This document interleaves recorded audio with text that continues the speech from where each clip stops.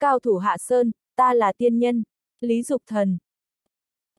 Tập 56 Tôi biết ông, đại ca của Hồng Môn đúng không? Lý Ngôn Thành cười to, nói, không cần giải thích, tôi từng này tuổi rồi, quân tử hay tiểu nhân tôi vẫn phân biệt rõ chứ. Rồi ông cụ nói với Lý Triệu Phong đứng bên cạnh mình, người phụ này cố ý khích bác, ly gián, bố không muốn nghe cô ta nói chuyện nữa, cũng không muốn nhìn thấy mặt cô ta nữa. Con biết rồi, bố à. Lý Triệu Phong nháy mắt ra hiệu, hai vệ sĩ đi đến, giữ Lương Phượng Như và kéo ra bên ngoài. Lương Phượng Như quính lên, vừa dẫy dụa vừa gào thét, các anh làm gì đấy? Các anh có còn biết nói lý lẽ không hả? Tôi đang giúp nhà họ Lý, tôi đang giúp người Hương Giang.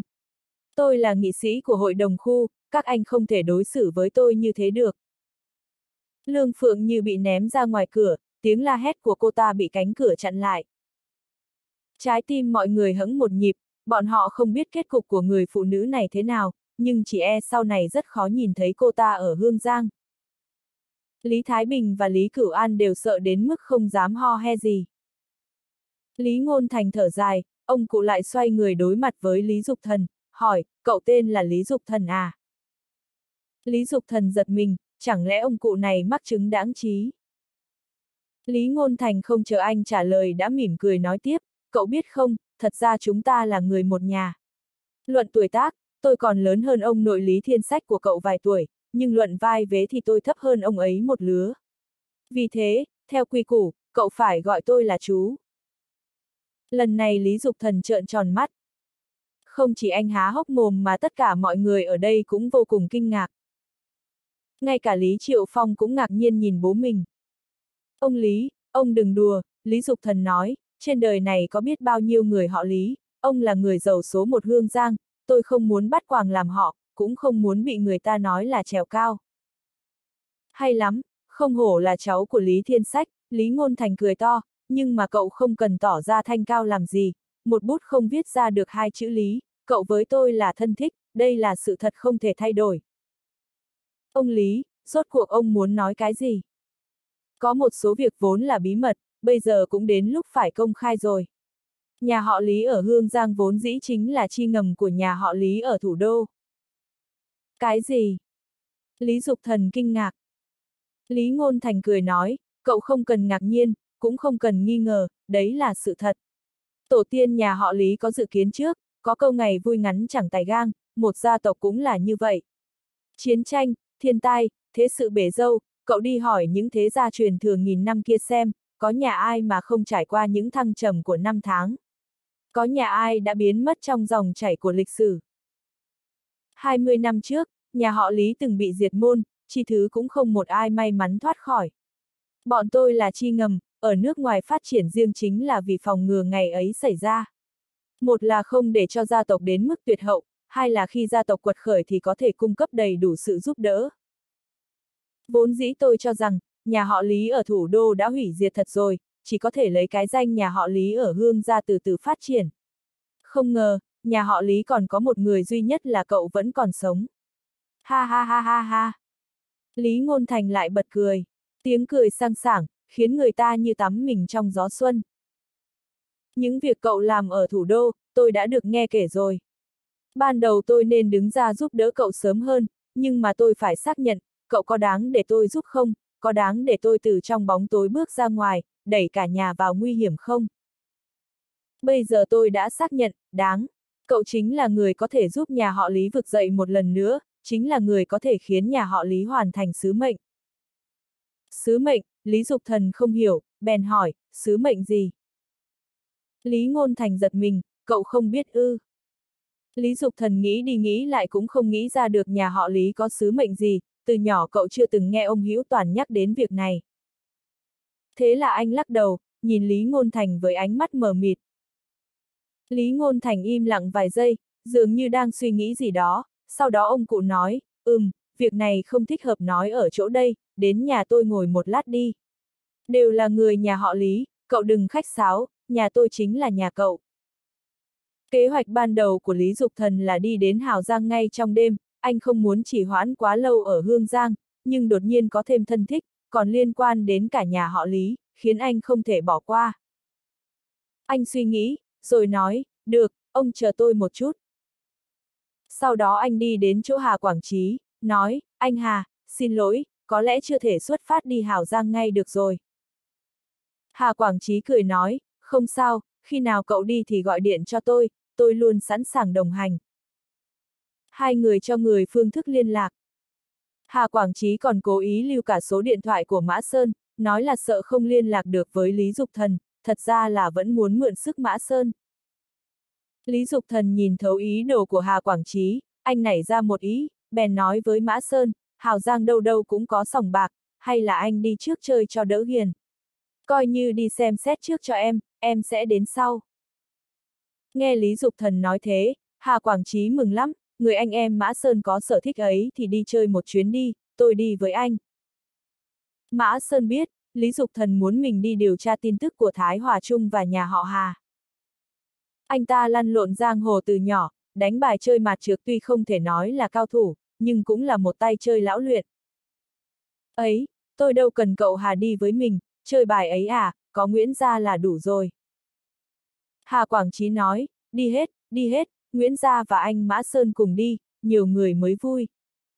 Nguyễn Hướng Đông vốn đã thành người ngoài cuộc, nghe Mã Sơn nhắc đến tên mình, trong lòng không hiểu sao lại có chút cảm động. Ông ta biết, nếu không có Mã Sơn thì mặt mũi của mình còn chưa đủ để cho Hà Quảng Trí đi cùng đến Hào Giang chơi. Thế là Mã Sơn và Nguyễn Hướng Đông đi theo Hà Quảng Trí đến Hào Giang. Nhìn bọn họ rời đi, Lý Dục Thần bất giác nở nụ cười. Anh không chỉ bảo Mã Sơn đi thăm dò, mà anh còn có ý muốn giúp anh em nhà mình. Mã Sơn vừa đi là anh lập tức lấy điện thoại di động ra, nhắn tin cho cha Na Lệ, cô đến Hảo Giang gặp anh em của tôi là Mã Sơn trước, ngày mai chúng ta xuất phát đi tam giác vàng. Lý Dục Thần không biết cha Na Lệ ở đâu, liệu đã đi đến Hảo Giang chưa, anh cũng chỉ gửi tin nhắn mà thôi, bọn họ có duyên phận hay không thì phải xem ý trời. Không được thì mai đi tam giác vàng lại tạo thêm cơ hội cho hai người họ. Sau đó, Lý Dục Thần ngồi lên chiếc xe Rolls Royce của Lý Ngôn Thành đến khu biệt thự cao cấp của nhà họ Lý ở Vịnh Nước Sâu. Bỏ tất cả phú thương của Hương Giang lại trong phòng, hai mặt nhìn nhau, như bừng tỉnh khỏi con mơ, đều không dám tin tưởng chuyện vừa mới xảy ra. Lý Ngôn Thành mời Lý Dục Thần vào thư phòng của mình. Tùy ý ngồi đi, cứ xem đây là nhà của mình. Thái độ của Lý Ngôn Thành hết sức hiền hòa, vẻ mặt hiền từ, ánh mắt nhìn Lý Dục Thần như ánh mắt của trưởng bối đang nhìn con cháu trong nhà. Nhưng Lý Dục Thần cử cảm thấy là lạ, đột nhiên có thêm một ông cụ làm chú bác, hơn nữa còn là người giàu nhất Hương Giang nổi danh cả nước, bảo anh gọi một tiếng bác, quả thực khiến anh khó mở miệng. Audio điện tử võ tấn bền. Sao thế, vẫn còn cảm thấy mất tự nhiên, không tự nhiên được à, Lý Ngôn Thành cười ha ha, ông cụ ngồi xuống mép giường, nhìn cảnh đêm ngoài cửa sổ, nói, có người nói cả cái hương giang này đều là của bác, ha ha ha, bác làm gì có lợi hại đến thế. Thật ra bác giàu có được như thế giờ đều là nhờ sự giúp đỡ trong âm thầm của nhà họ Lý ở thủ đô. Vì thế tất cả những gì bác có được hiện nay, bao gồm cả căn nhà này, cái ghế hay sàn nhà này, thật ra đều là của nhà họ Lý. Cháu biết nhà họ Lý bác nói là có ý gì đấy. Lý Dục Thần khẽ nhíu mày, lắc đầu nói, những thứ này đều là do bác cố gắng làm ăn mà có được, gia tộc là gia tộc, cá nhân là cá nhân, không thể nói nhập làm một được. Lý Ngôn Thành thở dài, nói, thế nên cháu không coi bác như người nhà. Không sao, bác biết chuyện này cần thời gian để thích ứng. Cháu cũng không cần nghĩ nhiều, phần cho con cái, bác đã để dành cả rồi. Còn lại đều là của cháu, cháu có thể cầm lấy bất cứ lúc nào mình muốn. Lý Dục Thần đang định lên tiếng thì Lý Ngôn Thành giơ tay ngăn anh lại, bác biết cháu có bản lĩnh, nhưng chấn hưng nhà họ Lý không phải một việc dễ dàng. Nhà họ Lý gặp tai hoa ngập đầu, không biết bao nhiêu lần rồi, lần nào cũng có thể vực dậy, ấy đều là bởi vì con nháo nhà họ Lý như chúng ta vĩnh viễn đồng lòng. Đừng thấy bác làm nhà giàu nhất mấy năm rồi, nhưng tài sản trong tay bác chẳng là gì so với với thế gia quyền quý cả. Muốn chấn hưng nhà họ Lý, chút tiền ấy của bác cũng chỉ như muối bỏ bể, tiền chưa bao giờ xếp ở vị trí thứ nhất. Bác sắp trăm tuổi rồi, ông trời đối xử với bác không tệ, cho bác được thấy hy vọng phục hưng của nhà họ Lý khi bác còn sống trên đời. Bác không thể giúp gì nhiều, chỉ là có ít tiền, cùng với mạng lưới quan hệ và sức ảnh hưởng, nhân lúc bác còn sống, thì bác sẽ từ từ giao cho cháu. Trong lòng Lý Dục Thần ngổn ngang cảm xúc, đối mặt với ông cụ gần trăm tuổi này, anh không biết phải nói gì hơn. Sứ mệnh của nhà họ Lý mà bác vừa nói là sứ mệnh gì, anh hỏi. Lý Ngôn Thành nhìn Lý Dục Thần, một lúc lâu sau mới lên tiếng, nhà họ Lý chúng ta là thế gia đứng đầu hoa hạ, cháu có biết không? Lý Dục Thần lắc đầu, nói, cháu chỉ nghe nói đến thế gia số một thủ đô. Lý Ngôn Thành cười nói, mở đầu của Bách gia tính, triệu tiền tôn Lý, Lý đứng hàng thứ tư, ấy là bởi vì trong Bách gia tính xuất hiện ở thời Bắc Tống, khi ấy triệu Tống ở phương Bắc, chiếm lĩnh Trung Nguyên, tiền thị ở phía Nam, xưng bá Ngô Việt. Nếu trăm dòng họ ra đời vào thời đường, vậy thì Lý phải xếp đầu. Lý Dục Thần kinh ngạc, ý của bác là, nhà họ Lý chúng ta là hậu duệ Lý Đường. Lý Ngôn Thành gật đầu, trên khuôn mặt của ông cụ hiện lên vẻ kiêu hãnh, chúng ta chính là con cháu Lý Đường, thế ra nghìn năm, truyền thừa chưa bao giờ đứt đoạn. Lý Dục Thần không hề cảm thấy việc này có gì đáng đẻ tự hào, hậu duệ Lý Đường có hàng nghìn hàng vạn, chỉ cần họ Lý thì đều dám nói mình là con cháu của Lý Thế Dân, có nhà ai không viết tên người nổi danh nhất trong dòng họ lên trang đầu tiên của gia phả. Dường như Lý Ngôn Thành đoán được anh đang nghĩ gì, ông cụ cười nói, hậu duệ Lý Đường có hàng nghìn hàng vạn, nhưng người có thể gánh vác sứ mệnh chỉ có chúng ta thôi. Rốt cuộc là sứ mệnh gì? Sứ mệnh, Lý Ngôn Thành nhìn ra ngoài cửa sổ, tầm mắt cụ xuyên qua màn đêm, nhìn về phía không trung đen ngòm, nhà họ Lý vẫn luôn trông giữ một món đồ, và đang bảo vệ một bí mật. Món đồ gì, bí mật gì? Món đồ ấy tượng trưng cho quyền lực vô thượng, có được nó là có thể nắm giữ cả thiên hạ. Cả thiên hạ. Lý Dục Thần cảm thấy khó tin. Từ nhỏ anh đã đến thiên đô, các phương diện vương triều quốc gia, kinh tế chính trị anh chỉ là gà mờ, nhưng anh cũng biết, xã hội hiện đại không phải là vương triều nhất thống thời xưa, không có chỗ nào cho hoàng quyền, từ đâu ra thiên hạ. Trên mặt Lý Ngôn Thành hiện lên vẻ si mê, như về tới vương triều Lý Đường mở mang bờ cõi, muôn nước lạy trầu thuở xưa. Cháu biết quyền lực từ đâu mà có không? Lý Dục Thần lắc đầu, anh đến thiên đô học pháp thuật, không phải học triết học, nào biết quyền lực bắt nguồn từ đâu. Có người nói, quyền lực ra đời bởi tư bản và sự khống chế với tư bản. Nhìn bác xem, bác làm người giàu nhất bao nhiêu năm, từ tỷ phú Hương Giang đến tỷ phú châu Á, nhưng bác đâu có thể khống chế châu Á được, cũng không thể khống chế Hương Giang. Có người nói, khởi nguồn của quyền lực là tín ngưỡng. Ha ha, nhìn giáo hoàng đi, bây giờ bác ta còn nắm giữ bao nhiêu quyền lực. Lại có người nói, quyền lực đến từ ý chí nhân dân. Nghe rất có lý, bây giờ ý dân to nhất là gì? Giá nhà đất, nhưng có người nào bởi vì hô to hạ giá nhà đất là có được quyền lực đâu. Trong xã hội tư bản này, trong thời đại khoa học công nghệ phát triển mạnh mẽ hiện nay, tất cả mọi người đều quên mất rằng, bản chất của quyền lực chính là sức mạnh. Bác ta ta có câu gì mà họng súng đẻ ra cái gì ấy thây. Sức mạnh, Lý Dục Thần như nghĩ đến điều gì, ý bác là, nhà họ Lý đang bảo vệ một thứ gì đó có sức mạnh rất lớn. Không phải sức mạnh lớn, Lý Ngôn Thành sửa lại, là sức mạnh tuyệt đối. Sức mạnh tuyệt đối. Sức mạnh tuyệt đối, có thể nghiền ép tất cả, bất cứ thứ sức mạnh nào cũng không thể chống lại. Bất kỳ kẻ nào, bất kỳ sức mạnh nào. Lý Dục Thần ngạc nhiên, anh cảm thấy ông cụ này nói quá lên. Làm gì có thứ gọi là sức mạnh tuyệt đối. Thiên đô dù có lắm pháp bảo thì cũng không có thứ nào có thể được xưng là có thể nghiền ép mọi thứ trên đời. Cho dù là kiếm trận vạn tiên, thần tiên một khi rơi vào trong đó chẳng khác nào bị ném vào cối xay thịt, nhưng nó cũng chỉ dùng để bảo vệ không gian vực giới thôi, chẳng phải khi thiên ma ngoại vực đến, sư phụ cũng rất lo lắng sao. Nếu thật sự có thể nghiền ép hết thảy, không ai có thể chống lại, hình như chỉ có thiên đạo mới làm được.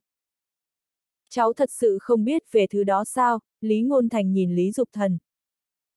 Lý Dục Thần lắc đầu, nói, cháu không biết, cũng chưa từng nghe nói qua, thậm chí cháu không tưởng tượng ra được. Lý Ngôn Thành thở dài, dường như khá thất vọng, có lẽ thời cơ chưa đến. Rốt cuộc là thứ gì, Lý Dục Thần hỏi. Bác cũng không biết, Lý Ngôn Thành nói, món đồ quan trọng như thế chỉ có các đời gia chủ mới có thể tiếp xúc. Bác cũng chỉ biết đến sự tồn tại của nó thôi. Đó là sức mệnh của nhà họ Lý mà bác nói. Đúng vậy, sứ mệnh của nhà họ Lý, đầu tiên là bảo vệ nó cẩn thận không cho người khác cướp đi. Thứ sở hữu sức mạnh tuyệt đối một khi rơi vào tay kẻ xấu thì hậu quả khó có thể tưởng tượng nổi. Thứ hai, chính là chờ đợi thời cơ, tái hiện sự huy hoàng của vương triều Lý Đường. Nói đến đây, vẻ mặt của Lý Ngôn Thành trở nên kỳ lạ. Lẽ nào, cuộc thảm sát nhà họ Lý xảy ra 20 năm trước là bởi vì món đồ ấy? Lý Dục Thần lại nhớ đến lời Minh Bộc nói, nhà họ Lý cất giấu thứ không nên cất giấu, lấy người không nên lấy. Nguyên Định Nhất cũng từng nói một câu tương tự. Người không nên lấy, tất nhiên là chỉ mẹ của anh, Cung Lăng Yên. Thứ không nên giấu, trước đây anh đoán là thiên hồn bích. Thiên hồn bích là món đồ ẩn chứa sức mạnh tuyệt đối. Nghĩ thôi đã cảm thấy vô lý. Viên ngọc ấy lấy đâu ra sức mạnh tuyệt đối, làm thế nào để dựng nên một triều đại. Nguyên định nhất đã nói, thiên hồn bích là thánh vật tiếp dẫn thiên ma. Nếu nhìn từ góc độ ấy, nó đích xác có được sức mạnh đáng sợ, nhưng nếu vậy thì chẳng phải có nghĩa là vương triều lý đường là vương triều thiên ma, thành lập bằng cách mượn sức mạnh thiên ma. Như vậy thì không chỉ tâm lý không chấp nhận được, mà về mặt đạo đức cũng khó thể chấp nhận. Nếu vương triều nhà họ Lý là vương triều thiên ma, ma giáo không nên tấn công nhà họ Lý, mà phải cung phụng nhà họ Lý mới đúng. Lý Ngôn Thành gật đầu nói, nhất định là có nguyên nhân này. Nguy cơ của nhà họ Lý qua các đời đều có liên quan đến nó. Vì thế món đồ ấy cực kỳ quan trọng, cháu nhất định phải bảo vệ nó cẩn thận. Ông cụ lại nhắc nhở Lý Dục Thần, ánh mắt cực kỳ bức thiết. Lý Dục Thần vẫn lắc đầu, cháu không biết nó là gì, muốn bảo vệ cũng không biết bắt đầu từ đâu. Lý Ngôn Thành thất vọng ra mặt, ông cụ thở dài, thôi vậy, không vội, cháu còn trẻ, thần vật tự có linh tính, chờ cháu chấn hưng nhà họ Lý thì có lẽ ở một thời khắc nào đó nó sẽ xuất hiện. À phải rồi, bác đã bảo kế toán và luật sư sửa sang lại tài sản của bác, ngoại trừ một phần để lại cho đám con cháu không nên thân kia, toàn bộ số tài sản còn lại, cháu có thể tiếp nhận bất cứ lúc nào. Lý Dục Thần nói, chuyện này về sau hãng nói, bác cũng nói rồi đấy thôi, vực dậy nhà họ Lý không phải chuyện ngày một ngày hai, nếu thật sự có nhu cầu thì cháu sẽ đến tìm bác. Hay, bác cũng đến tuổi gần đất xa trời rồi, không làm xong việc này thì trong lòng không yên, không có mặt mũi nào đi gặp liệt tổ liệt tông, Lý Ngôn Thành nói. Lý Dục Thần nhìn ông cụ, nói, không dối gạt bác, cháu biết chút y thuật, bác vẫn còn khỏe mạnh lắm, chăm sóc cẩn thận là có thể sống rất thọ. Lý Ngôn Thành cười to, đừng an ủi bác, già rồi tức là già rồi, đời này có gì chưa thấy đâu, chuyện duy nhất không yên lòng chính là nhà họ Lý Phục Hưng. Bác yên tâm, bác sẽ được nhìn thấy, Lý Dục Thần nói. Lý Ngôn Thành gật đầu, đột nhiên ông cụ nghĩ đến cái gì, bèn hỏi, à đúng rồi, cháu đến Hảo Giang làm gì? Bác và Hà Gia Sương là bạn bè, cháu có cần ta chào hỏi trước không? Lý Dục Thần nghĩ lại thấy cũng được, Lý Ngôn Thành chắc chắn có uy tín hơn mình và Mã Sơn, có lẽ vua sòng bài của Hào Giang sẽ nói ra tung tích của Giang Long Huy, bèn trả lời. À, cháu đang tìm Giang Long Huy, nghe nói ông ta và vua sòng bài hợp tác với nhau, cháu muốn đến Hào Giang thử vận may, xem có thể tìm được ông ta không. Giang Long Huy, ông trùm hồng môn châu Á, Lý Ngôn Thành cao mày, bác từng nói chuyện với ông ta, người này rất khó đối phó, cháu tìm ông ta làm gì? Cháu có một người sư tỷ mất tích ở Nam Dương, có lẽ việc này có liên quan đến ông ta. Lý Ngôn Thành gật đầu, ông cụ đi đến bàn đọc sách, cầm chiếc di động nắp gập kiểu cũ do Hàn Quốc sản xuất lên. Nhìn thấy chiếc điện thoại di động đó, Lý Dục Thần bỗng hoài niệm chiếc điện thoại Nokia của mình. Lý Ngôn Thành bấm số điện thoại, đặt bên tai nghe một lúc rồi lại đặt xuống, nói, cái lão Hà Gia Sương này, giống bác rồi, càng già càng lười, đến cả điện thoại cũng lười nghe máy. Nói xong, ông cụ nhấc một chiếc điện thoại khác trên bàn lên, ấn số rồi nói với đầu dây bên kia, cậu liên lạc với nhà họ Hà Hào Giang, nói là tôi muốn nối máy với Hà Gia Sương. Cụ đặt điện thoại xuống chưa được bao lâu thì trợ lý đến báo cáo, nhà họ Hà nói ông Hà đang ngồi thiền, một lát nữa sẽ gọi lại cho ông. Lý Ngôn Thành gật đầu, xua tay bảo trợ lý đi ra ngoài, rồi ông cụ cười tự diễu, con người ấy à, lớn tuổi rồi thì sợ chết, luyện cái này, tập cái kia, nhưng mà ai có thể nghịch thiên kháng mệnh được chứ? Lý Dục Thần không tiếp lời. Lý Ngôn Thành lớn tuổi rồi, tinh lực đã hao hết từ lâu, không thể tu hành được. Không bằng cháu đến Hào Giang trước, anh nói. Ừm, cũng được, bác không thích cờ bạc, nhưng không thể không nói Hà Gia Sương giỏi khoản phát triển sòng bạc Hào Giang thật, cháu có thể đi dạo một vòng. Vua sòng bài trả lời thì bác sẽ báo cho cháu ngay. Mặt khác, bác cũng sẽ dùng con đường của mình tìm kiếm Giang Long Huy. Chấm.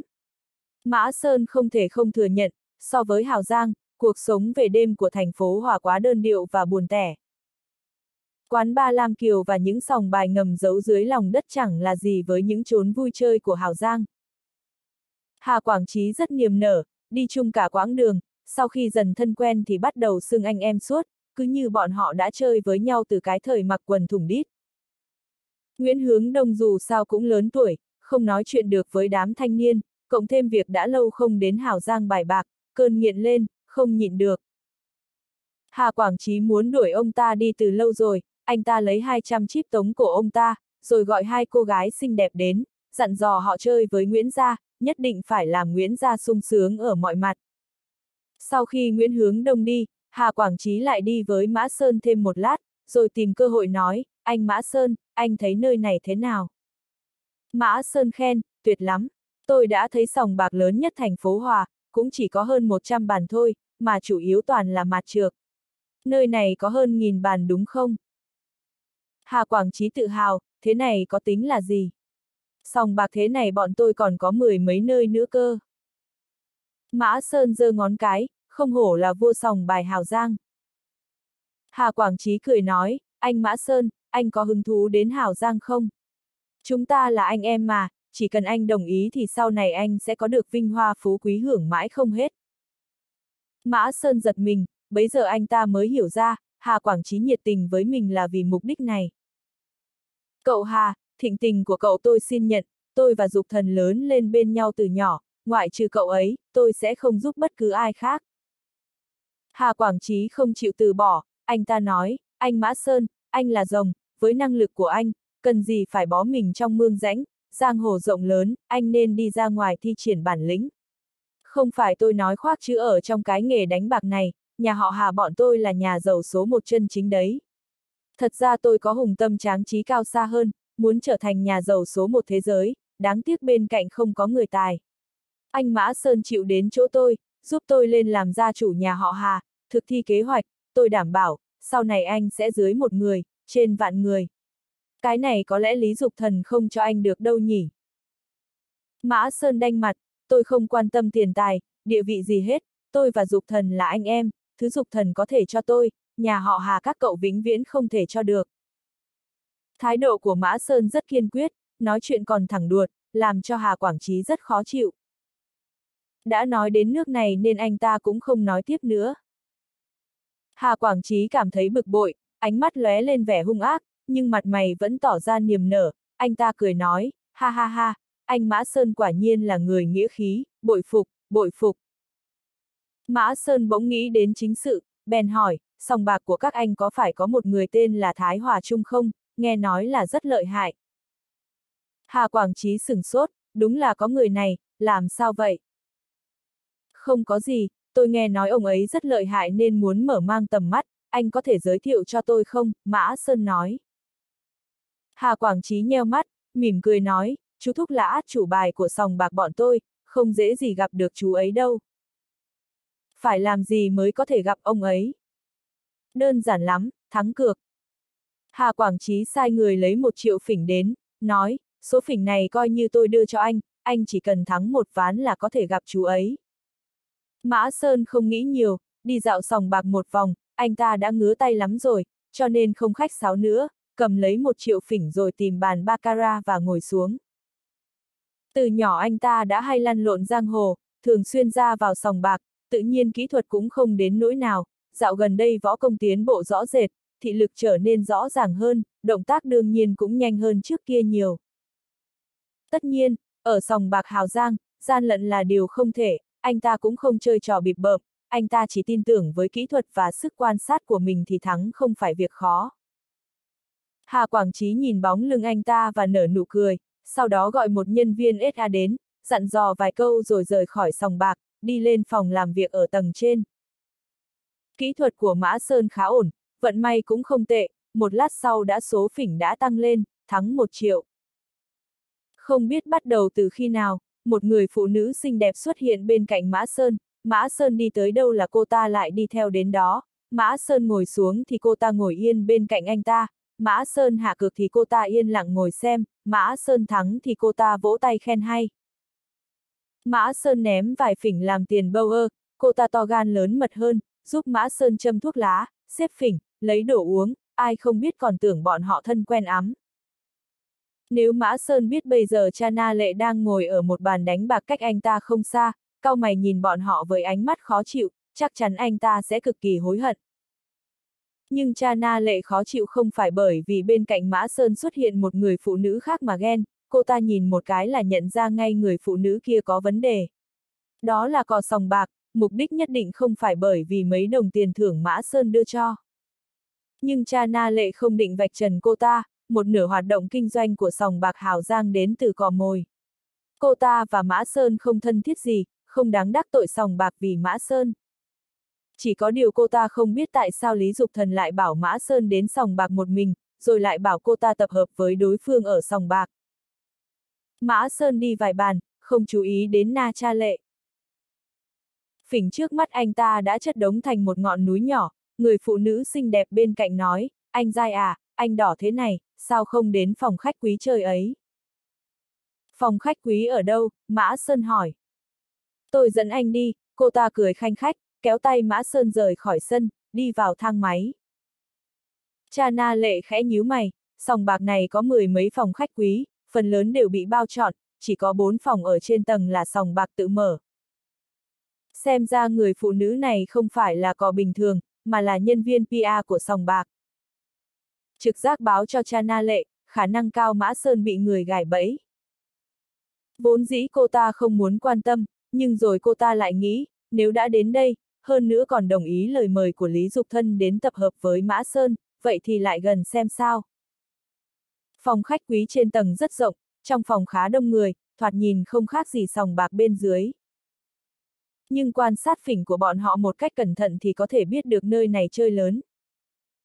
Người phụ nữ quen cửa quen nẻo đi đến quầy ba giúp Mã Sơn gọi một chén rượu, còn mình thì lấy một ly đồ uống, sau đó cô ta kéo tay Mã Sơn, đi tìm một bàn trống ngồi xuống. Lúc cha na lệ vào phòng, Mã Sơn đã cược vài ván. Anh ta vẫn may mắn như cũ, thắng nhiều thua ít, phỉnh của anh ta càng ngày càng nhiều. À có bên cạnh Mã Sơn và người chia bài mắt đi mày lại, cha na lệ đều nhìn rõ ràng. Nhưng cô ta không lên tiếng, cô ta muốn nhìn xem rốt cuộc bọn họ định dở cho gì, mà tên ngốc kia có cái gì để mà lừa. Anh dai, cược to hơn đi, nhân lúc mắt tay thắng nhiều chút, lát nữa hết đỏ rồi thì muốn thắng cũng không còn dễ nữa. Cô ta nói có lý.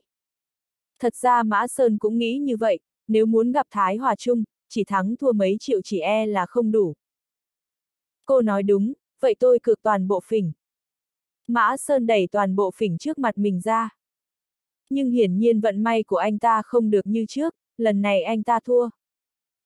Mã Sơn thoạt nhìn rất nản lòng, anh ta tức tối đập bàn.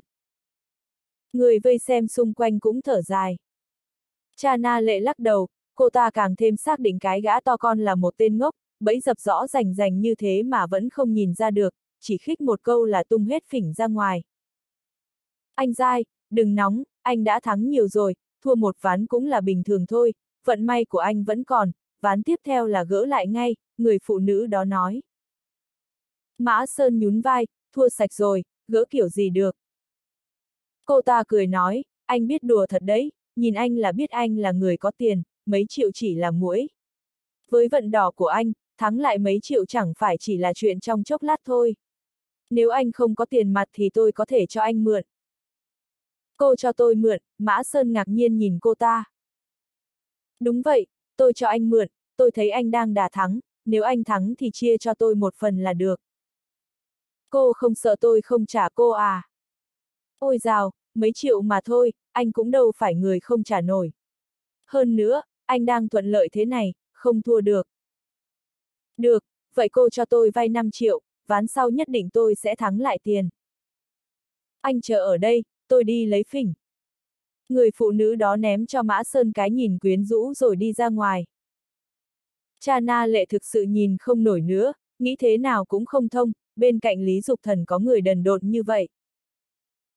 Ngay ở khu làm việc bên cạnh phòng khách quý, Hà Quảng Trí vừa nhìn video theo dõi vừa cười đắc ý trong phòng làm việc. Thiếu gia, tên này thoạt nhìn rất ngu ngốc, thật sự lợi hại như anh nói sao, một người hơn 30 tuổi bên cạnh hỏi. Người này tên là Hứa Chí Thắng, là quản lý của phòng khách quý tự vận hành của sòng bạc, cũng là công nhân cũ của nhà họ Hà, có quan hệ không tệ với Hà Quảng Trí. Tôi bảo anh ta lợi hại ở võ công, không phải nói là thuật đánh bạc của anh ta lợi hại, Hà Quảng Trí cười nói, Mã Sơn loạn quyền này rằng co với Vịnh Xuân Lương chi huyên hồi lâu, khí thế không hề rơi vào thế yếu, hơn nữa tuổi tác còn trẻ như vậy, quả là tiền đồ vô lượng. Năm đó ông nội tôi tốn biết bao công sức để mời Lương Chi Huyên đến Hảo Giang, cuối cùng bị nhà họ Lý chặn ngang. Nếu tôi có thể thu phục Mã Sơn, ông nội chắc chắn sẽ rất vui mừng. Hứa Chí Thắng đáp, nhưng mà thiếu gia, dùng tiền nợ đánh bạc để ép anh ta, nhớ. Ngộ nhớ anh ta không phục thì sao? Người này lại biết đánh nhau như vậy, làm không tốt sẽ trở mặt thành thù. Hà Quảng Trí lắc đầu nói, tôi sẽ không dùng tiền nợ đánh bạc để ép buộc anh ta. Trước tiên để anh ta ôm nợ nần, đến lúc đó cậu đóng vai phản diện, rồi tôi ra mặt, giúp anh ta trả hết nợ, anh ta nhất định sẽ biết ơn tôi. Người giang hồ như anh ta rất có tình nghĩa, tôi lại dùng mỹ nhân kế với anh ta, không tin anh ta không chịu tới. Hứa Chí Thắng giơ ngón tay cái lên, vẫn là thiếu gia lợi hại. Chấm. Người phụ nữ nhanh chóng quay trở lại, cầm theo 5 triệu chip. Cha na lệ lập tức nhìn ra, đây là chip bùn chuyên dụng và cò mồi. Sau khi rửa chip, cò mồi sẽ được chia tiền hoa hồng. Mã Sơn nhận lấy chip, không thèm liếc nhìn đã đẩy ra phía trước, đặt hết. Khách đánh bạc bên cạnh đều ngừng lại. Đánh bạc như thế này không phải ngày nào cũng có thể thấy, dù là ở phòng khách quý. Mọi người dứt khoát không đặt cược nữa, làm quần chúng. Ván này, Mã Sơn thắng. Đám khán giả vỗ tay hò reo. Cha na lệ khá bất ngờ, theo lý thuyết, Mã Sơn đặt cược như thế, sòng bạc nhất định sẽ để anh ta thua, sau đó lại cho anh ta vay. Cô ta thấy người chia bài và người phụ nữ bên cạnh Mã Sơn trao đổi ánh mắt, trong mắt hai người họ đều mang vẻ kinh ngạc và khó hiểu. Cha na lệ lập tức ý thức được, Mã Sơn gian lận. À, hóa ra cũng không hoàn toàn là đồ đần. Có điều, cha na lệ không cho rằng Mã Sơn có thể trốn được kiếp này. Hào Giang có thể trở thành thành phố cờ bạc không phải dựa vào may mắn, nếu gian lận có thể kiếm được tiền ở nơi này, bọn họ sớm đã phá sản. Không thể nói là trong xã hội không có cao thủ đánh bạc, nhưng cao thủ có lợi hại hơn nữa cũng không đấu lại công nghệ cao. Trước kia trong sòng bạc còn cần người ngoài sáng trong tối nhìn chằm chằm, hiện tại khắp nơi đều là camera HD, từng cử động của anh không thể chạy thoát khỏi mắt của họ. Hơn nữa những cao thủ chân chính kia sớm đã bị sòng bạc mua chuộc. Một bên là lấy lương cao và được sòng bạc chia hoa hồng, làm công việc nhàn nhã, một bên khác là mạo hiểm bị chặt tay để gian lận trên chiếu bạc, chọn thế nào, đồ ngu cũng biết. Đương nhiên, vẫn có những nhân vật lợi hại mà ngay cả công nghệ cao cũng không bắt được, nhưng một số người này khinh thường đến sòng bạc thắng tiền. Ví dụ như cao thủ trong huyền hàng môn, ví dụ như chính cha na lệ cô ta. Mã Sơn gian lận thế nào, cha na lệ cũng không biết. Cô ta không phải giám sát viên chuyên nghiệp, nhưng cô ta biết, trong phòng quan sát nhất định đang xem video ván vừa rồi lặp đi lặp lại. Chấm. Hà Quảng Trí nhíu mày nhìn video giám sát. Tình huống gì đây, sao anh ta lại thắng? Chỉ cần anh ta quay con thoi, đều sẽ phải thua mới đúng. Chia bài này bị làm sao vậy? Không phải vấn đề của chia bài, hứa chí thắng đáp, anh ta gian lận. Gian lận, Hà Quảng Trí giật mình nói, sao anh ta lại biết gian lận?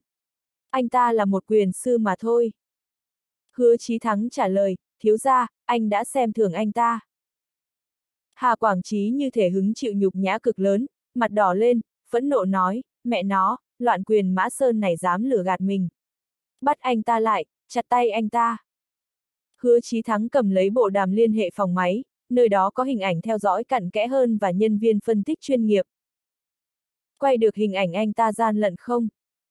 Không có, trong bộ đàm truyền đến tiếng đáp lời, lúc ấy chỉ có camera phía tây nhắm thẳng vào bàn đánh bạc kia, khả năng đã bỏ sót.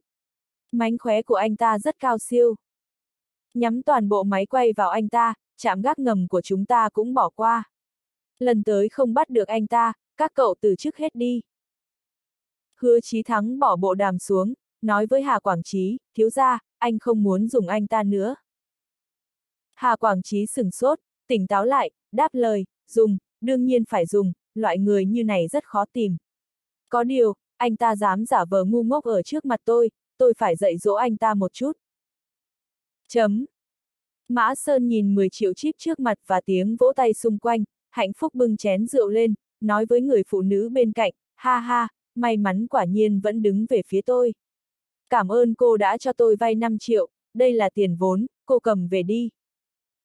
Nói xong, anh ta đẩy 5 triệu chip kia đến trước mặt người phụ nữ, lại chia ra một nửa từ đống chip thắng được, cho em thêm 2 triệu rưỡi, thế nào? Người phụ nữ thu lại ánh mắt nhìn chia bài, thay đổi khuôn mặt tươi cười. Cô ta cầm chén rượu lên, bưng đến bên miệng Mã Sơn, đút cho anh ta một ngụm, dịu dàng nói, anh trai à, anh thật là giỏi. Tiền vốn của em đặt ở chỗ anh đó, anh chơi giúp em đi, tiền thắng được chia cho em một phần mười là được rồi. Mã Sơn cười hi hi đáp, chính em nói đấy, anh chơi tiếp. Anh ta đẩy ra toàn bộ chip, cược hết. Đáng tiếc lần này anh ta thua. 10 triệu chip, chỉ chớp mắt đã không còn. Người bên ngoài tất nhiên thở dài thườn thượt. Nhưng ngược lại, cha na lệ khá khen ngợi anh ta. Cách làm của Mã Sơn rất thông minh, vừa rồi anh ta gian lận, cơ sở giám thị ngoài sáng trong tối của sòng bạc đều chú ý đến anh ta, nếu ván này còn tiếp tục gian lận, chắc chắn sẽ bị bắt. Chẳng qua cô ta không hiểu, Mã Sơn làm như vậy có mưu đồ gì. Không thắng được một phân tiền, còn nợ cò mồi kia 5 triệu. Mã Sơn thoạt nhìn rất thất vọng, không cam lòng nói, mẹ nó, lại thua. Sớm biết thì thu tay lại rồi. Người phụ nữ kia nói, anh trai à, anh đừng nản chí, cực tiếp nói không chừng lại thắng trở lại thì sao? Cực nữa, tiền mất hết rồi, còn cực hả? Anh còn nợ em 5 triệu kia kìa, đi thôi, anh ra ngoài tiệm vàng quẹt thẻ, trả tiền lại cho em.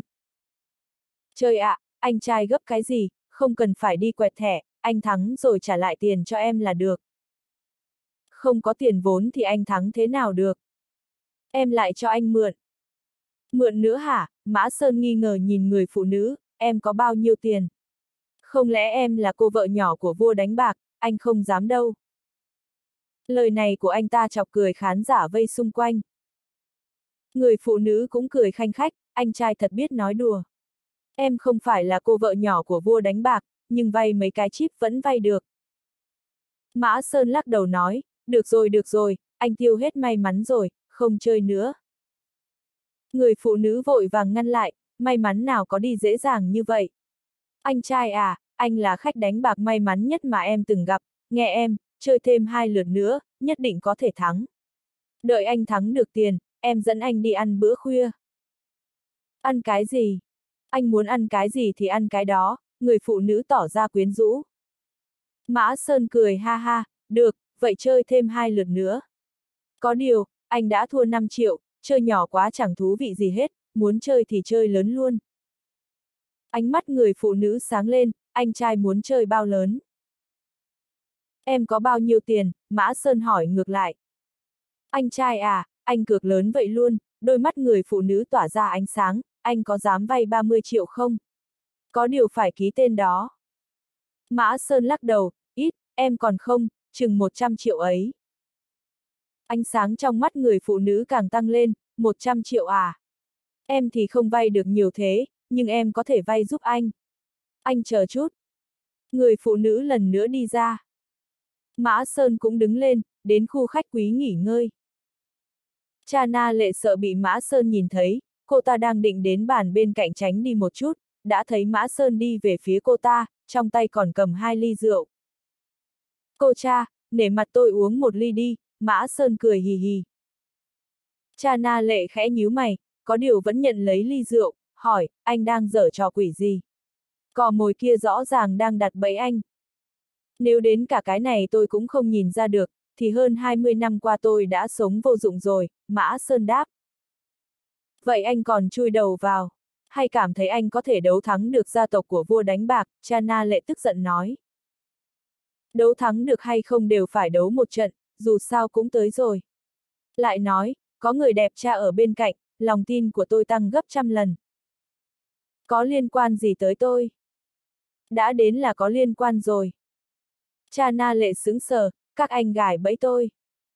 Mã Sơn cười ha ha, nếu cô không thích, tôi cũng chẳng cần gài làm gì. Cút!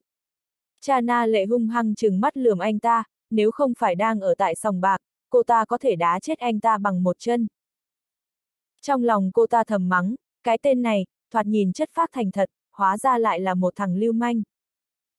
Cô ta muốn đi ra chỗ khác, Mã Sơn cản lại, ly rượu trong tay chạm nhẹ vào ly của cô ta, cợt nhả nói, cô cha, camera đang nhắm thẳng vào chúng ta đấy. Toàn bộ người trong sòng bạc đều trông thấy chúng ta tán tỉnh ve vãn. Giờ mà cô đi, nhớ tôi xảy ra chuyện, bọn họ sẽ tính món nợ này lên đầu cô. Không bằng ở lại, chúng ta đồng tâm hiệp lực. Vô liêm sỉ, Chana lệ mắng. Có điều, Mã Sơn nói đúng tình hình thực tế. Hiện tại cô ta đi cũng không rửa sạch được quan hệ với Mã Sơn. Ít nhất, cô ta cần biết rõ ràng Mã Sơn và Lý Dục Thần đang dở trò quỷ gì. Rốt cuộc các anh muốn làm gì?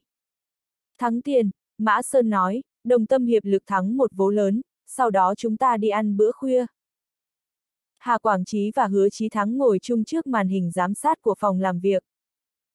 Một người phụ nữ đang đứng trách đối diện Hà Quảng Trí, bất ngờ chính là cò mồi bên người Mã Sơn vừa rồi. Người phụ nữ có vẻ hơi cẩn thận, hơi cúi đầu, không dám đối mặt với Hà Quảng Trí.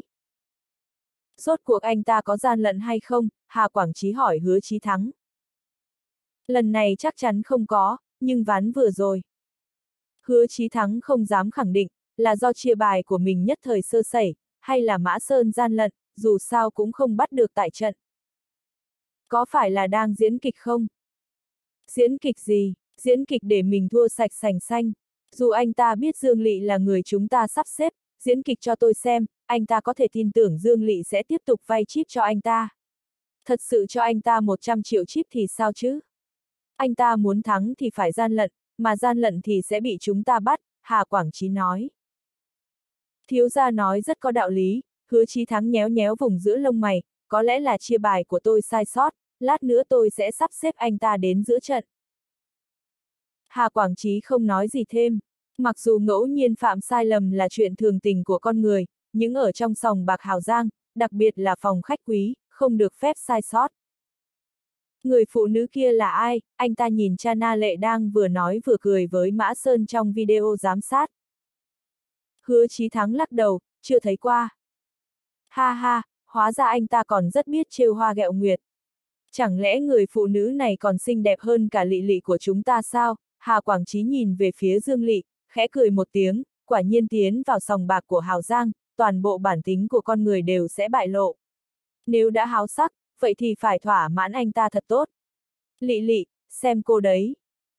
Yên tâm đi, cậu Hà, tôi sẽ giải quyết anh ta, Dương Lị quyến rũ nói, vậy, chúng ta có nên cho anh ta vay 100 triệu không?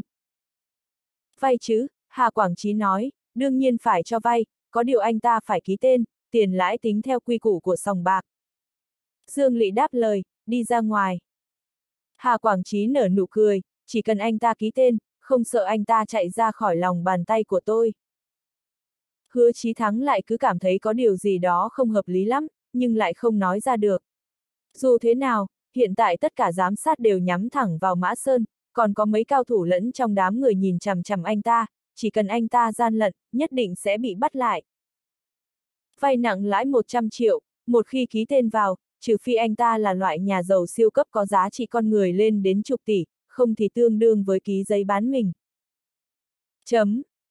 Mã Sơn không phải là người am hiểu giao tiếp xã hội, lúc anh ta lăn lộn trong vòng tròn kia, anh ta có tiếng biết đánh nhau và trọng nghĩa khí. Trên người anh ta có khí phách của đại ca cầm đầu, tất cả mọi người đều rất phục anh ta. Nhưng anh ta không giỏi giao tiếp, đặc biệt là không biết lấy lòng phụ nữ, trong mắt rất nhiều người, nhất là phụ nữ, anh ta vô cùng đứng đắn, xen lẫn chút chất phác, đặc điểm này khiến anh ta hoàn toàn khác những tên côn đồ kia. Nhưng dù thế nào, Mã Sơn cũng lớn lên trong hoàn cảnh đó, chưa ăn qua thịt heo cũng gặp qua heo chạy, anh ta không lạ lẫm với chuyện tán gái như thế nào. Anh ta kể chuyện cười cho cha na lệ, bông đùa những lời tà dăm nhưng không thấp kém. Cha na lệ thành công bị anh ta chọc cười, không phải là bởi vì chuyện cười của anh ta cuốn hút, mà do dáng vẻ khi kể chuyện của anh ta rất buồn cười. Khi mà một người đàn ông thật thà chất phác muốn dùng cách nói những câu đùa tục chọc cười một người phụ nữ, bản thân chuyện này đã rất buồn cười rồi. Dương Lị trở lại, cầm trong tay một sấp tài liệu, sau lưng còn đi theo hai người, trong đó một người cầm theo một cặp đầy chip. Anh trai à, ký tên vào đây, 100 triệu chip này sẽ là của anh, Dương Lị mở tài liệu ra, đưa cho Mã Sơn một cây bút. Mã Sơn không thèm nhìn lấy một chữ, vèo vèo ký tên của mình xuống. Dương Lị hơi sững sờ, không biết là bị chấn động bởi sự hào phóng của Mã Sơn, hay là quá thuận lợi đến bất ngờ khiến cô ta hoài nghi chuyện này có vấn đề. Hợp đồng vay nặng lãi của sòng bạc vô cùng khắc nghiệt, bình thường khách hàng phải ở trạng thái vô cùng hưng phấn, cộng thêm miệng lưỡi không xương của cò mới làm họ ký tên mình xuống. Nhưng Mã Sơn không thèm hỏi lấy một câu, loại người này hoặc là giá trị con người cao đến bất cứ lúc nào cũng có thể trả được nợ, hoặc là vốn không có ý định trả. Dương Lị Lơ đáng nhìn thoáng qua camera.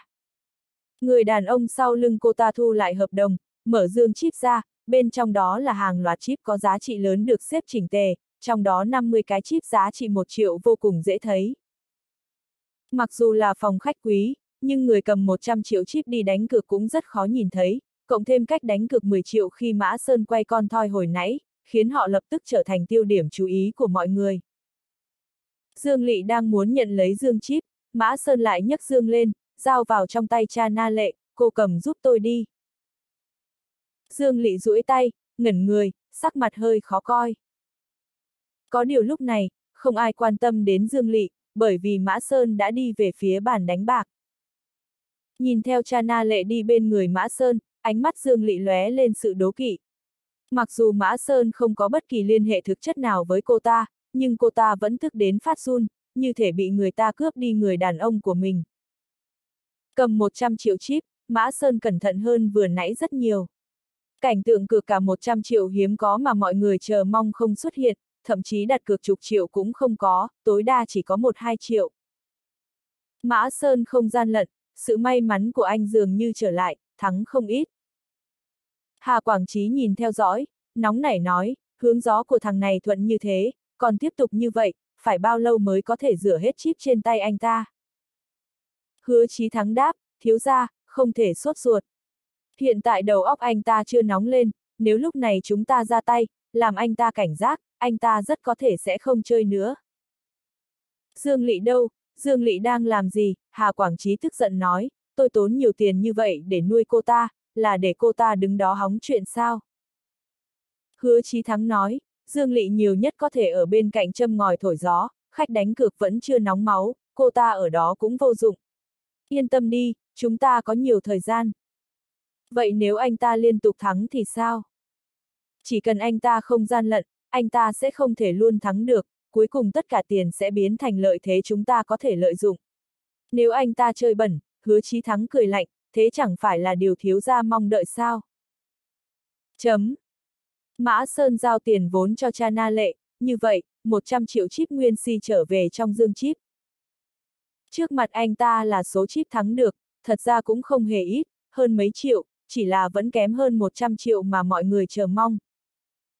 Lúc mọi người bắt đầu mất kiên nhẫn, Mã Sơn đập tay xuống bàn, một chồng chip được xếp thật cao ảo ảo rơi là tả. Anh ta vén tay áo lên, cao giọng nói, mẹ nó, hướng gió thuận như thế, ông đây muốn cược ván lớn. Sự hào hứng của mọi người lập tức tăng vọt. Lúc này người vây xem đã rất nhiều, có cảm giác chật như nêm cối. Mã Sơn quay đầu nhìn thoáng qua phía sau, ngoắc tay nói với Dương Lị trong đám người, này, em đứng xa như thế làm gì, tới đây ngồi, xem giúp anh, có muốn quay con thoi một lần không? Dương Lị lập tức mỉm cười dựa lại gần, thân thể mềm mại, toàn bộ ngực đặt lên vai Mã Sơn, hơi thở tựa hoa lan, anh trai à, em còn tưởng là anh quên em luôn rồi. Làm sao lại như vậy? Em không ở bên cạnh anh, tâm lý của anh không vững chắc được, Mã Sơn đưa tay ôm eo Dương Lị, nói.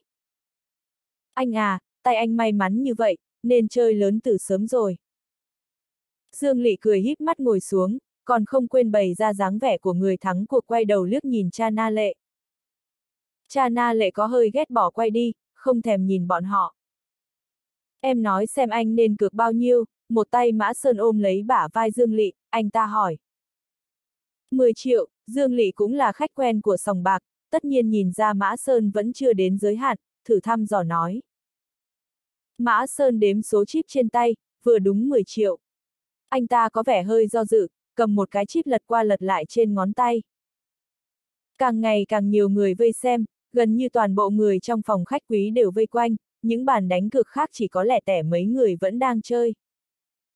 Được, vậy ván tiếp theo đặt 10 triệu, Mã Sơn nói xong, đẩy chip trên bàn về phía trước, ván này thắng, mỗi người ở đây được chia 10 ngàn.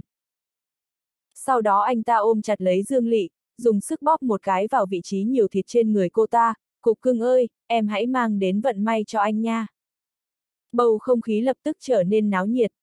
10.000 đồng không là gì với những người trong phòng khách quý, nhưng giống như lúc cướp lì xì trong nhóm vậy, không ai thiếu chút tiền ấy, thế mà vẫn nhiệt tình cướp lì xì, dù có là mấy đồng cũng muốn cướp, bởi vì cướp lì xì không chỉ đại biểu cho tiền bạc, mà còn đại biểu cho may mắn tốt hơn người khác.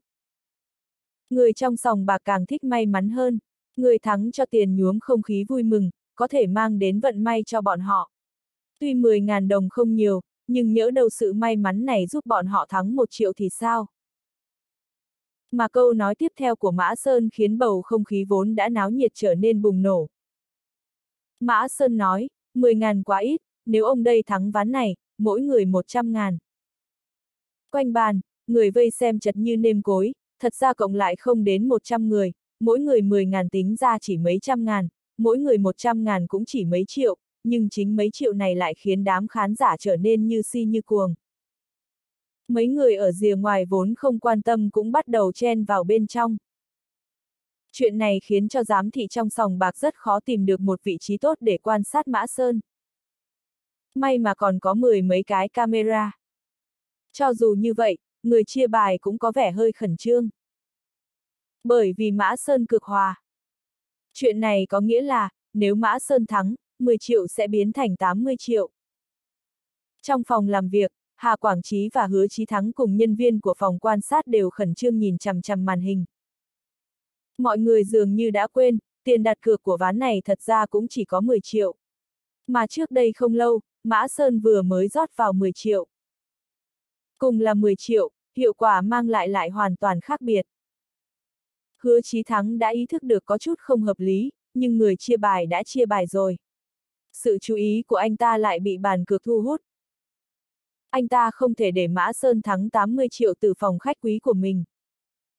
Anh ta kết luận, lần này Mã Sơn nhất định muốn gian lận. Tạo ra động tĩnh lớn như vậy, không phải là muốn lợi dụng đám đông để che đậy cho thủ pháp gian lận của anh ta sao?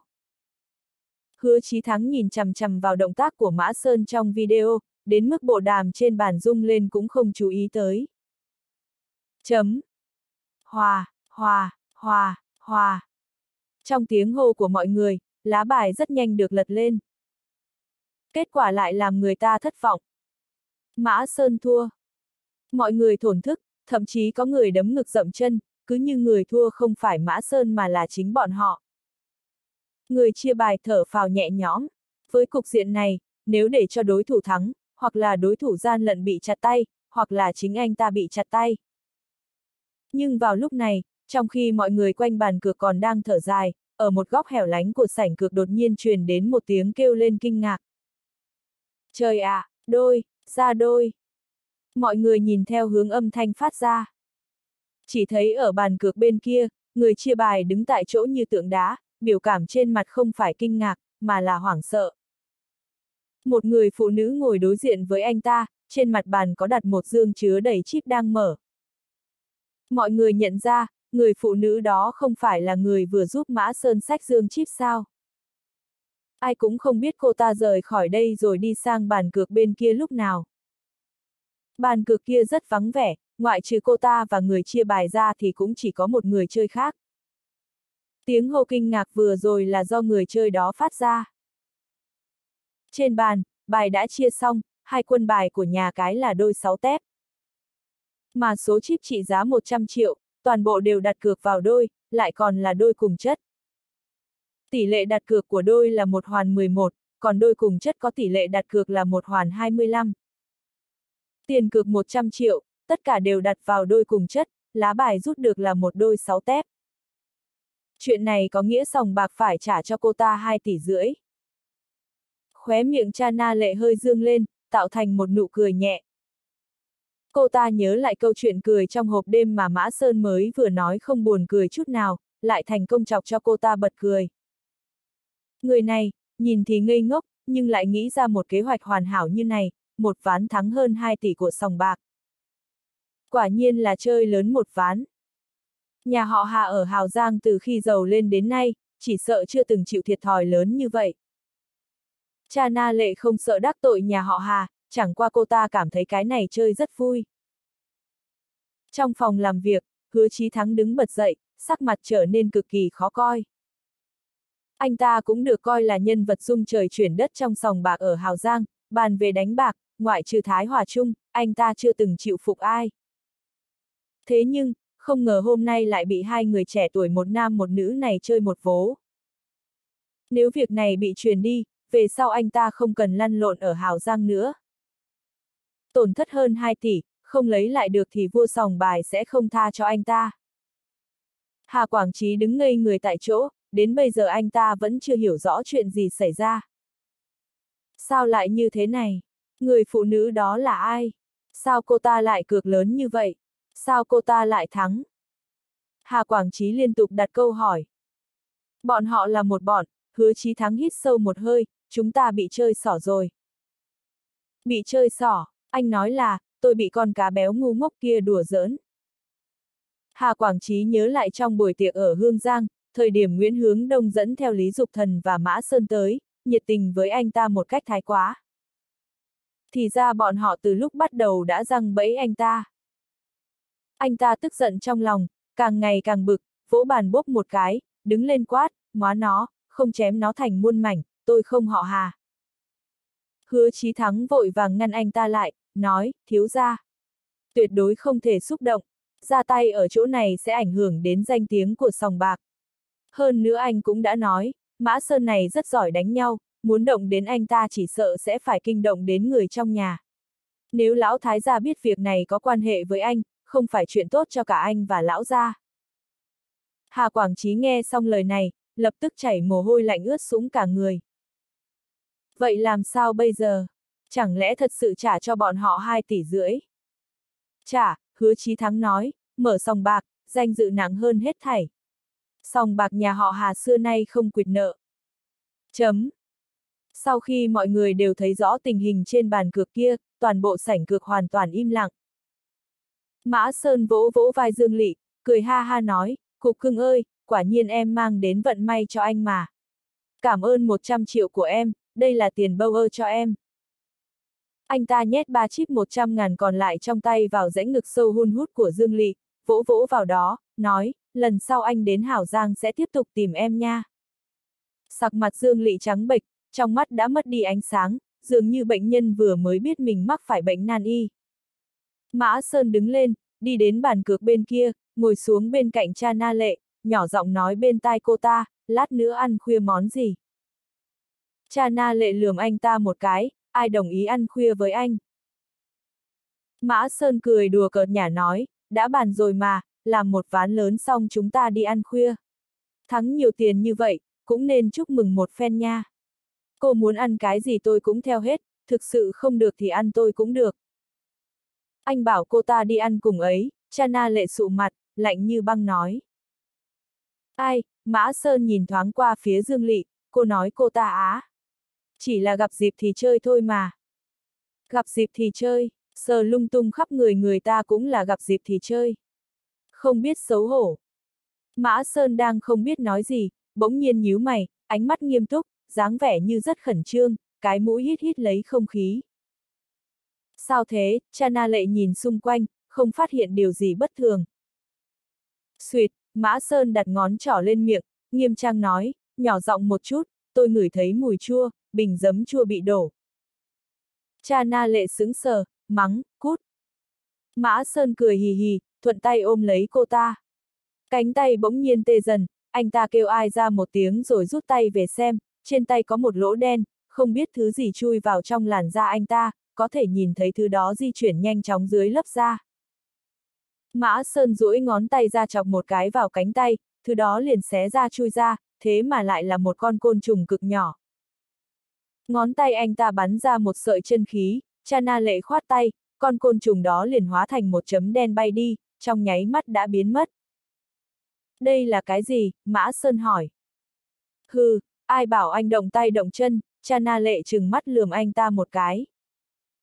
Cổ thuật của huyền hàng môn hết sức lợi hại, Chana lệ là đệ tử thân truyền của thần nữ Đại Mã Fatima, về phương pháp dùng cổ, dĩ nhiên đám lại sĩ công, lại toa toa không thể sánh bằng.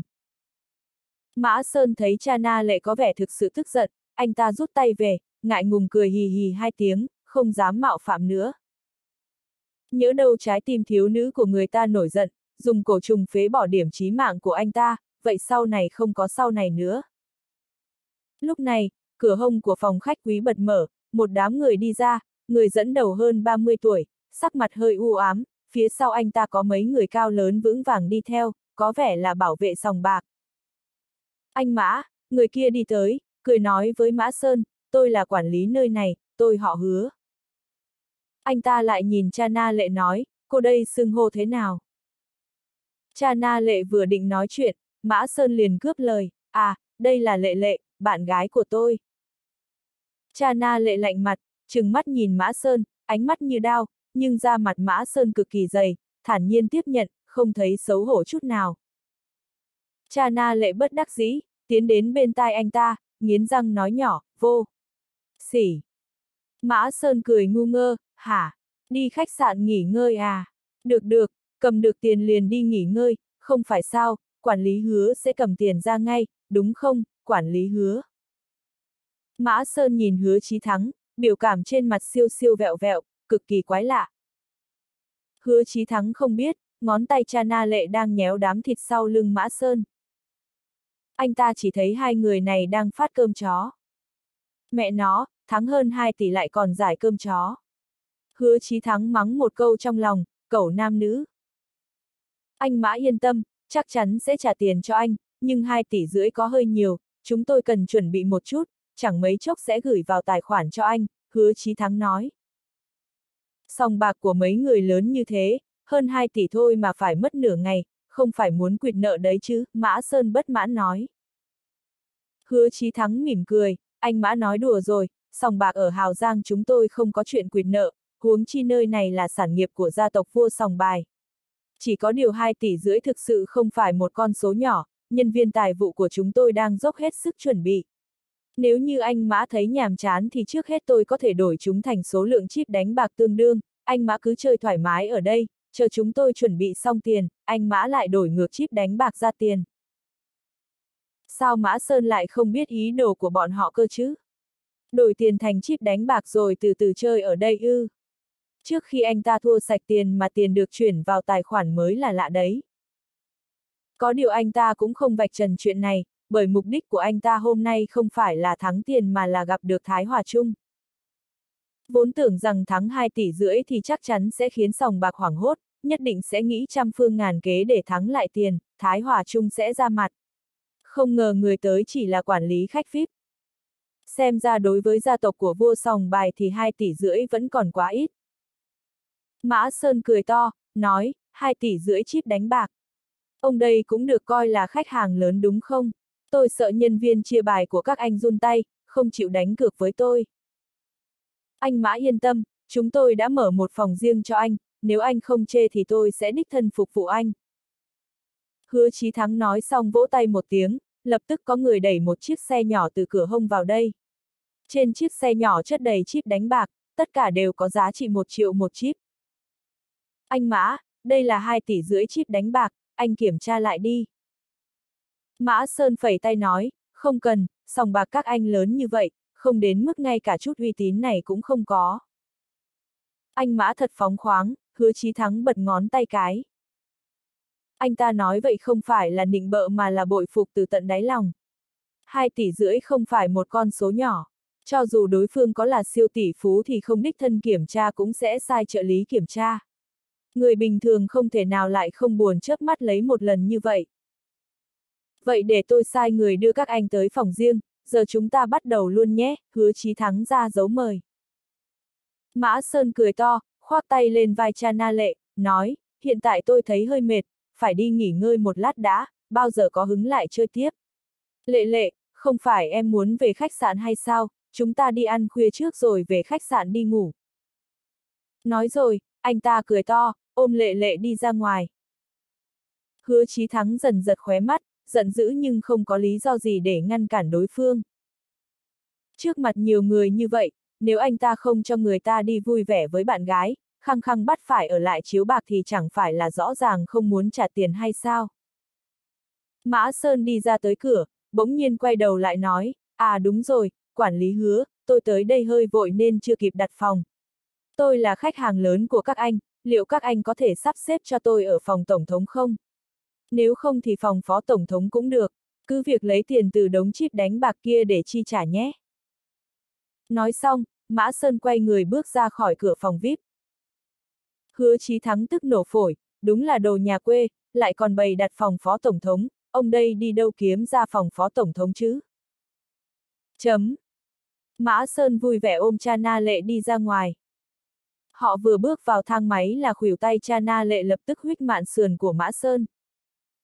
Mã Sơn kêu ối một tiếng, đau gập cả lưng lại, ôi mẹ ơi, vợ à, em muốn mưu sát chồng à. Ai là vợ của anh? Nếu còn nói bậy nữa thì tôi cho họa mi của anh ngừng hót luôn đấy, cha na lệ co chân lên giả bộ định đá Mã Sơn.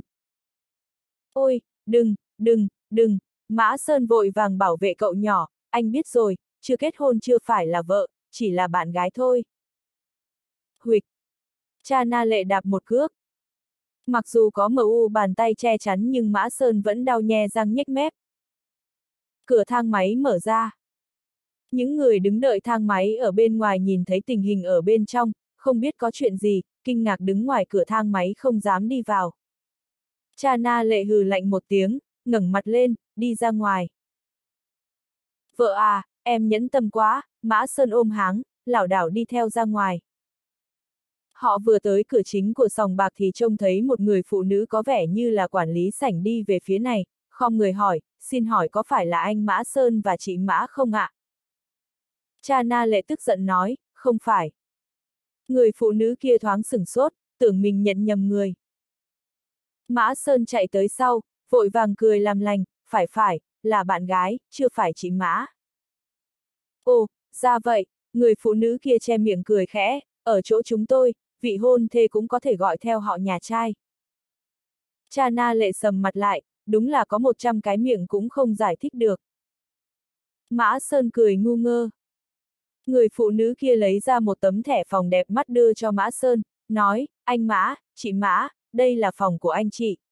Cậu Hà nhờ tôi chuyển lời cho anh chị, xin lỗi anh chị vì phòng tổng thống đã bị người khác đặt trước mất rồi, phòng đại đô hội này là phòng tốt nhất chỉ xếp sau phòng tổng thống, mời anh chỉ tạm thời ở lại đây. Mã Sơn nhận lấy thẻ phòng, không sao, không sao, ha ha ha, vợ à, chúng ta đi ăn khuya trước hay đi xem phòng trước. Cha na lệ thực sự đã hoàn toàn cạn lời, chẳng buồn nói tiếng nào, tức giận lườm anh ta một cái rồi bỏ đi trước. Mã Sơn vội vàng đuổi theo, vợ à, chờ anh một chút. Mã Sơn vốn muốn đưa cha na lệ tới nhà hàng Michelin nổi tiếng gần đây để nếm thử món ăn Quảng Đông ngon nhất ở Hào Giang. Suy cho cùng thì thắng hơn 2 tỷ, ăn một bữa Michelin có là gì. Nhưng cha na lệ không thích, khăng khăng tới quán vỉa hè, gọi cho mỗi người một bát cháo cua thịt viên. Hương vị của món cháo cua này không tồi nhưng từ nhỏ Mã Sơn đã ăn hàng vỉa hè nhiều, từ lâu đã quen với bầu không khí ồn ào ở đây nên không có cảm xúc gì mấy. Trái lại, cha na lệ ăn rất say sưa ngon lành. Thấy cha na lệ không kén ăn, không có thói tiểu thư, có thể ăn uống vui vẻ ở quán vỉa hè, trong lòng Mã Sơn cũng vui vẻ, thái độ cũng càng thêm ân cần. Vợ à, em có muốn ăn thử món cá khoai sóc muối tiêu không? Vợ à, anh thấy đằng kia có món cua rang, anh đi mua cho em một suất nhé. Chấm. Đứng trước sự ân cần của Mã Sơn, cảm xúc của cha na lệ đã đi từ phản cảm tới bất đắc dĩ, sau đó thì mặc kệ anh ta, dù sao anh ta cũng rất khó chơi, đánh không đánh lại, mắng không mắng lại, da mặt dày hơn tường thành, không thể làm gì được. Ăn no rồi, cha na lệ để đũa xuống, cầm khăn giấy lau miệng rồi nhìn Mã Sơn. Mã Sơn bị nhìn tới độ ngượng ngùng, sao vậy vợ? Trên mặt anh có hoa à? Anh muốn theo đuổi tôi thật à? Cha na lệ hỏi. Hả, Mã Sơn gãi đầu, anh còn tưởng là đã cưa đổ được em rồi cơ chứ. Đừng có mồm mép tép nhảy nữa, tôi đang nghiêm túc hỏi anh đó, cha na lệ không vui. Mã Sơn thấy cô ta nói năng nghiêm túc thì cũng nghiêm chỉnh lại, chứng chặt nói, phải, từ lúc gặp em lần đầu trên máy bay, anh đã rung động rồi. Rung động, đó chỉ là cảm xúc nhất thời thôi đúng không? Không không không, tuyệt đối không phải là cảm xúc nhất thời. Anh thật, thật lòng thích em, muốn, theo đuổi em, Mã Sơn bỗng nhiên hơi căng thẳng, nói năng lắp bắp. Anh ta ưỡn cao ngực, anh vụng về, không khéo ăn nói, cũng không có trình độ văn hóa, ngoài đánh nhau ra thì không biết gì cả. Nhưng Mã Sơn này không sợ trời không sợ đất, xưa nay chưa từng chịu thua, chấp nhận số phận, anh thích em thì sẽ theo đuổi em. Không cưa đổ được em cũng không sao nhưng nếu không cố gắng thì anh sẽ hối hận cả đời. Cha na lệ phì cười, anh thế này mà còn không khéo nói gì nữa. Thực ra anh là người thông minh, thông minh hơn những cậu ấm nói năng dẻo quẹo nhiều. Mã Sơn vui mừng, gãi đầu một cái, vậy, vợ đồng ý rồi à? Cút, cha na lệ tức giận lườm anh ta một cái, anh còn gọi tôi như vậy nữa là tôi giận thật đó. Được được, anh không gọi, vậy anh gọi em là Lệ lệ, na lệ. Tùy anh. Cha na lệ đáp như vậy, Mã Sơn lại không biết phải gọi như thế nào. Anh ta cười hề hề nhìn cha na lệ, càng nhìn càng thấy xinh, trong lòng vui như hoa nở. Muốn cưa đổ tôi không có dễ vậy đâu, cha na lệ nói. Không sao, em muốn xính lễ gồm những gì, em nói đi. Biến đi, ai thèm xính lễ của anh. Vậy em muốn gì? Anh ăn nó đi. Mã Sơn nhìn theo hướng cha na lệ nhìn, trông thấy trong bát cháo cua trước mặt không biết từ lúc nào có một con côn trùng. Con côn trùng này có sọc đen vàng giao nhau, không giống rết, cũng không giống bọ cạp, châu chấu, chuồn chuồn, ngoại hình cực kỳ xấu xí, cứ như thể toàn bộ các khuyết điểm của tất cả các loài côn trùng đều tập trung hết vào người nó. Trời ạ, à, cái gì đây, Mã Sơn giật nảy mình. Đây là con bọ tình, cha na lệ nói, con bọ này là tôi nuôi. Nếu như anh thật lòng thích tôi thì ăn hết nó đi, nó sẽ ở trong cơ thể của anh, chung sống hòa bình, nhưng sau này anh chỉ được yêu một mình tôi thôi. Nếu anh thay lòng đổi dạ, nó sẽ cắn xé nội tạng của anh, khiến anh cực kỳ đau đớn. Nếu tình cảm anh dành cho tôi là giả dối, anh ăn nó vào sẽ bị trúng độc mà chết. Thế nào, anh có dám không? Cha na lệ còn chưa nói dứt lời, Mã Sơn đã không chút trần trừ túm con bọ đó lên, cho vào miệng, nuốt chửng xuống bụng. Này, cha na lệ giật mình la lên. Hành động của Mã Sơn khiến cô ta kinh ngạc. Không tính đến những tác dụng của con côn trùng này mà cô ta vừa mới nói, chỉ riêng ngoại hình ghê tởm của nó thôi, ai dám ăn nó cũng xứng đáng được gọi là dũng sĩ. Cha na lệ vốn định làm khó Mã Sơn một chút vì thực sự thấy phiền với người đàn ông mặt dày này. Cho nên cô ta mới chọn ra một con cổ trùng xấu nhất trong số những con cổ trùng cô ta nuôi. Cô ta không tin có ai lại dám chủ động ăn nó. Lại càng khỏi cần phải bàn tới đặc tính của những con bọ tình này. Cô ta cho rằng Mã Sơn chỉ đang tán gái mà thôi, dù cho anh ta thật lòng với cô ta thì có người đàn ông nào dám cam đoan sau này sẽ mãi mãi không thay lòng đổi dạ chứ. Cha Na Lệ đã dùng chiêu này với rất nhiều người từng theo đuổi cô ta. Những anh chàng đẹp trai, giỏi nói lời ngon ngọt, thế non hẹn biển đó không có ai vượt qua được thử thách này, đừng nói là ăn, chỉ giả bộ cố gắng một lần thôi cũng không dám. Thế nhưng Mã Sơn lại không chút do dự, cô ta còn chưa nói xong, anh ta đã ăn xong rồi. Rốt cuộc là người đàn ông này quá vô tư hay là thật sự bị tình yêu làm mụ mị đầu óc mất rồi. Cha na lệ vừa khiếp sợ vừa cảm động, trong lòng bất giác thấy ngọt ngào. Anh ngốc à, giọng cô ta dịu dàng hơn, thứ này có độc đó. Anh không sợ, Mã Sơn ợ một cái, em nói là chỉ cần anh thật lòng thì sẽ không bị trúng độc mà chết. Em xem đi, chẳng phải hiện tại anh vẫn còn khỏe mạnh đây sao? Nhưng mà, cha na lệ vừa không đành lòng lại vừa đau lòng, nhưng mà tôi nói vậy là lừa anh đó thôi. Làm gì có con bỏ tình nào chứ? Tôi chỉ không muốn anh làm phiền tôi, muốn dọa anh bỏ chạy mà thôi. Hóa ra là vậy, sắc mặt Mã Sơn trở nên buồn bã, hóa ra em ghét anh như vậy. Được thôi, anh đi là được chứ gì, chỉ cần em vui vẻ thì anh sao cũng được. Mã Sơn đứng dậy, buồn bã quay lưng đi. Chờ một chút, cha na lệ với tay gọi Mã Sơn, giọng nói có phần căng thẳng, tôi. Tôi, cũng không ghét anh tới mức đó. Thật ư, Mã Sơn xoay người lại nhìn cô ta. Cha na lệ gật đầu, mặc dù anh hơi ngốc nhưng lại rất hài hước, chỉ có điều da mặt quá dày. Đáng ghét. Không phải em nói là không ghét anh à, Mã Sơn ngạc nhiên hỏi. Cha na lệ sững sờ, mắng, đồ ngốc, đáng ghét. Nói xong, cô ta thở phì phò xoay người rời đi. Mã Sơn đang định đuổi theo thì bỗng hét lên đau đớn, ôm ngực, ho ra một búng máu. Cha na lệ quay đầu lại nhìn thấy, vội vàng chạy tới đỡ Mã Sơn, giật mình hỏi, anh sao vậy? Cái tên ngốc này, con bọ này có độc, sao anh lại ăn thật chứ? Cô ta điểm huyệt trên người Mã Sơn rồi lấy một lọ thuốc ra, dốc hai viên ra lòng bàn tay, đút cho Mã Sơn ăn. Sau đó, cô ta xoa nhẹ ngực Mã Sơn, khỏe lại chưa? Mã Sơn tái mặt, nằm trong ngực cô ta, na lệ. Anh không xong rồi. Thấy Mã Sơn không có dấu hiệu chuyển biến tốt, cha na lệ hơi ngờ vực, không đúng, chân khí trong người anh rất mạnh, cổ trùng đã bị anh giết chết rồi, trong cơ thể anh chỉ có chất độc của cổ trùng đã chết, đáng lẽ ra uống thuốc vào là không sao nữa chứ. Na lệ, nếu như anh chết, xin em đừng buồn vì anh. Nói vớ vẩn gì vậy, cha na lệ vội la lên, anh không chết được đâu. Tôi sẽ không để anh chết. Na lệ, anh lạnh. Cha na lệ ôm chặt người Mã Sơn, thế này có đỡ hơn không? Na lệ, anh không muốn chết ở đây. Em dìu anh tới, tới. Anh muốn đi đâu? Mã Sơn rút tấm thẻ phòng ra, phòng đại đô hội không ở thì phí. Cút! Cha na lệ nhìn thấy thẻ phòng mới hiểu ra Mã Sơn đang giả vờ bèn vứt anh ta xuống đất. Huịch! Ôi! Mã Sơn xoa mông lồm cồm bò dậy, vừa đuổi theo vừa gọi, na lệ, chờ anh một chút. Lúc Mã Sơn trở lại sòng bạc, đêm đã khuya. Anh Mã, chị Mã, mời đi theo tôi. Giám đốc quan hệ khách hàng đã đứng chờ ở cửa sòng bạc từ trước, thấy bọn họ tới bèn dẫn lên trên phòng VIP xa hoa trên tầng. Đây là căn phòng được chuẩn bị riêng cho những vị khách đặc biệt. Có một số người tới sòng bạc ở Hào Giang có thân phận đặc biệt, không tiện lộ diện trước công chúng nhưng lại muốn chơi một chuyến. Hoặc là có một số khách hàng cực kỳ lớn, chi mạnh tay, không muốn chơi chung với mọi người ở phòng khách quý.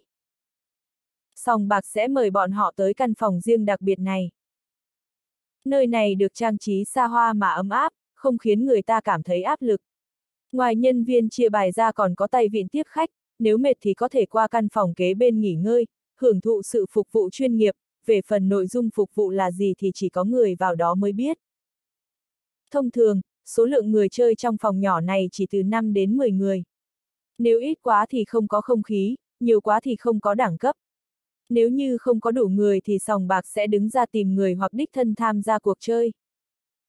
Nhưng hầu hết mọi lần, người của sòng bạc chỉ chơi cùng mà không thắng tiền của khách, để tránh người khác hiểu lầm sòng bạc dở trò. Ở sòng bạc, giả vợ yếu, nhưng khách thắng mới là bí quyết cốt lõi. Chỉ có một tình huống ngoại lệ, đó chính là với những người như Mã Sơn, bọn họ đã thắng quá nhiều tiền ở sòng bạc nhưng sòng bạc lại không bắt được chứng cứ gian lận của đối phương.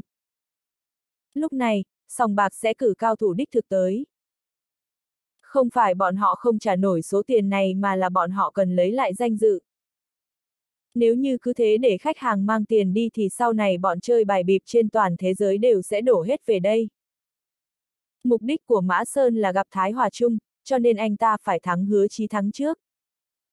Mặc dù hứa chí thắng không nổi tiếng bằng Thái Hòa Trung nhưng cũng là một cao thủ có tiếng. Nếu không, sòng bạc đã không giao phòng khách quý duy nhất không giới hạn số tiền đặt cược cho anh ta quản lý. Hơn nữa, anh ta vẫn còn trẻ, có thể nói là tiền đồ thanh thang. Nhưng hôm nay hứa chí thắng bắt buộc phải thắng, hoặc là bắt Mã Sơn nhè 2 tỷ ra, hoặc là bắt được chứng cứ gian lận của Mã Sơn. Nếu không, cuộc sống tốt đẹp ở Hào Giang của anh ta sẽ chấm hết.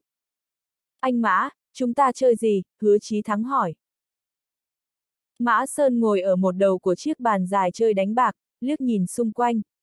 Tuy căn phòng này nhỏ nhưng anh ta biết số camera giấu kín ở đây không hề ít hơn so với ở phòng khách quý. Ngay cả chiếc bàn này cũng không biết ẩn giấu bao nhiêu cơ quan. Hơn nữa còn có hứa chí thắng ngồi đối diện, nhân viên chia bài đứng ở một cạnh bàn và nhân viên phục vụ đứng cung kính hai bên bàn, biết bao nhiêu ánh mắt đang nhìn chằm chằm vào anh ta. Muốn gian lận ở đây gần như là không thể. Nhưng sòng bạc thì có thể, bởi vì người duy nhất giám sát hứa chí thắng chỉ có một mình Mã Sơn. Ngoại trừ hứa chí thắng, Mã Sơn còn phải giám sát động tác chia bài của nhân viên. Chỉ có đồ đần mới tin đây là một ván bài công bằng. Mã Sơn không ngu, anh ta không hề nắm chắc phần thắng. Nhưng anh ta vẫn không quan tâm, bởi vì sau lưng anh ta có Lý Dục Thần. Cha Na Lệ không hề biết mục đích thật sự của Mã Sơn. Trước khi đến đây, cô ta đã khuyên Mã Sơn, thực ra 2 tỷ rưỡi là cũng đã khá nhiều rồi, anh dừng lại được rồi đó. Với danh tiếng của nhà họ Hà, nếu anh khăng khăng đòi ra về thì bọn họ sẽ không ngăn anh đâu. Mã Sơn nói, anh không hứng thú với tiền. Cha na lệ sững sờ, vậy anh làm vậy để được gì? Mã Sơn không giấu giếm, nói cho cô ta biết, anh muốn gặp Thái Hòa Trung. Cha na lệ nói, chú tôi và vua sòng bài Hà Gia Sương có quan hệ không tồi, nếu các anh muốn gặp Thái Hòa Trung thì có thể nhờ ông ấy giới thiệu. Mã Sơn vỗ đùi, sao em không nói sớm? Nếu biết trước chú được nể mặt như vậy thì đâu cần phải phiền phức thế này chứ? Cha na lệ lườm anh ta một cái, là chú của tôi, không phải chú của anh. Mã Sơn nói, chú chứ có phải bố đâu, anh còn gọi cảnh sát là chú nữa đấy. Cha na lệ bĩu môi, nhất thời không phản bác được, lấy điện thoại di động ra gọi cho chú của cô ta. Mã Sơn nhìn cô ta gọi điện thoại, cười hì hì đắc ý, nhủ thầm, chỉ là chuyện sớm muộn thôi. Cha na lệ nghe thấy nhưng tiếng cha LG của mắng ở đầu bên kia khiến cô ta không rảnh trách móc Mã Sơn. Cháu đang làm gì vậy? Vừa rồi chú nghe nói có người thắng 2 tỷ rưỡi ở sòng bạc của nhà họ Hà, hóa ra cô gái đó chính là cháu, giọng cha LG rất phẫn nộ, cháu muốn làm gì? Hả, cháu có biết là cháu và tên Mã Sơn kia đã nổi tiếng khắp Hào Giang rồi không? Dám tới phá chuyện làm ăn của nhà họ Hà còn muốn nhờ chú tới gặp vua sòng bài, cháu bảo chú phải ăn nói thế nào với Hà Gia Sương. Nói là cháu gái của tôi thắng 2 tỷ rưỡi ở sòng bạc nhà ông Hà. Chú à, chúng cháu chỉ muốn gặp Thái Hòa Trung thôi. Chỉ cần gặp Thái Hòa Trung thì sẽ trả 2 tỷ rưỡi cho bọn họ, cha na lệ nói. Trả cho bọn họ, cháu nói nghe nhẹ nhàng lắm. Đây là vấn đề 2 tỷ rưỡi ư. Vua sòng bài không chịu nổi chuyện để mất 2 tỷ rưỡi à. Cái mà vua sòng bài không thể mất được đó chính là thể diện, cha LG càng nói càng giận, cháu có biết không, gần đây phương Tây đang kiếm chuyện, mấy sòng bài khác ở Hào Giang đã bắt tay nhau để chơi sỏ nhà họ Hà. Lúc này, các cháu lại tới phá chuyện làm ăn của nhà họ Hà, cháu nghĩ nhà họ Hà sẽ nghĩ như thế nào? Chuyện này cháu tự nghĩ cách đi, đừng tìm chú, cũng đừng nói cháu là người nhà họ cha, lôi nhà họ cha vào chuyện này. Nói đến đây, cha LG chợt nhớ tới một chuyện, khoan đã, vừa rồi cháu nói là. Bọn cháu hả, nghĩa là sao, cháu có quan hệ gì với tay họ mã kia? Alo, alo alo. Cha Na Lệ đã cúp điện thoại. Với công lực hiện tại của Mã Sơn, mắt anh ta rất tinh, tai cũng rất thính, nếu cha Na Lệ không cố ý né tránh thì anh ta có thể nghe rõ mười mươi nội dung cuộc điện thoại. Lúc này, anh ta mới ý thức được mức độ nghiêm trọng của sự việc, ngại ngùng nói, xin lỗi em, Na Lệ, anh đã không cân nhắc đến việc em là người nhà họ cha. Chú em nói đúng, anh không thể kéo cả nhà em vào chuyện này được. Nhân lúc bọn họ chưa nhận ra em, em mau đi đi. Mã Sơn đột nhiên nói chuyện nghiêm túc như vậy, cha na lệ lại thấy không quen, cô ta nói, tôi đi thì anh làm thế nào? Mã Sơn nói, còn làm thế nào nữa, chỉ cần thắng tay giám đốc hứa kia, gặp được Thái Hòa Trung thì nhiệm vụ của anh coi như đã hoàn thành. Cha na lệ lắc đầu, không có tôi, anh không thắng nổi đâu. Ai bảo vậy, Mã Sơn không phục, em đừng xem thường anh, anh đã học được mánh chơi bài bịp của cao thủ rồi, chưa chắc tên họ hứa này đã là đối thủ của anh. Cha na lệ nói, nơi này là sân nhà của người ta, anh dở trò gian lận chẳng khác nào tự đâm đầu vào chỗ chết. Thôi, làm người tốt thì làm cho chót, tôi đi với anh. Hơn nữa, hai tỷ rưỡi kia có một nửa là của tôi, anh đừng hòng quỵt Mã Sơn mừng rỡ, cười nói, vậy chúng ta đi đăng ký kết hôn trước đi, đăng ký xong, nó sẽ là tài sản sau hôn nhân, anh có muốn chiếm làm của riêng cũng không được. Cút. Chấm. Chơi xì tố đi, Mã Sơn nói. Được, chơi, hứa chí thắng gật đầu với người chia bài. Người chia bài lấy ra hai bộ bài mời Mã Sơn kiểm tra. Mã Sơn vẫn phóng khoáng như cũ, phẩy tay nói, không cần, các anh là sòng bạc lớn, tôi tin các anh. Người chia bài bắt đầu chia bài. Mã Sơn đặt cược rất tùy ý, hoàn toàn không chú ý vào bài, chỉ thỉnh thoảng nhìn về phía cha na lệ ngồi bên cạnh liếc mắt đưa tình. Vợ à, em xem bài đi. Gần như mỗi lá bài Mã Sơn đều nhờ cha na lệ xem rồi tranh thủ sờ tay của cô ta. Lần nào cha na lệ cũng đập mở u bàn tay của anh ta, nói, đáng ghét. dáng vẻ của hai người khiến hứa chí thắng nhíu mày. Mẹ kiếp, đây nào phải là đi chơi bài, rõ ràng là coi sòng bạc là khách sạn cho cặp đôi nghỉ dưỡng. Bọn họ cứ thế chơi mười mấy ván.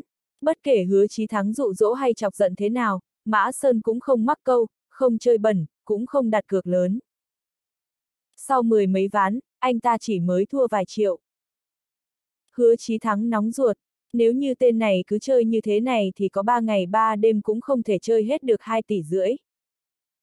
Thấy bọn họ liếc mắt đưa tình với nhau, hứa chí thắng càng nhìn càng tức. Ông chủ mã, chơi nhỏ thế này thật không giống tác phong của anh. Nhỏ ư, Mã Sơn nhìn mặt bàn một cái, hình như đúng là hơi nhỏ một chút, vậy hay là tôi chơi lớn hơn nhé? Hứa Chí Thắng cười gần một tiếng, được, vậy chúng ta tăng tiền cược lên 10 triệu nhé. Mã Sơn lắc đầu, vậy vẫn quá nhỏ.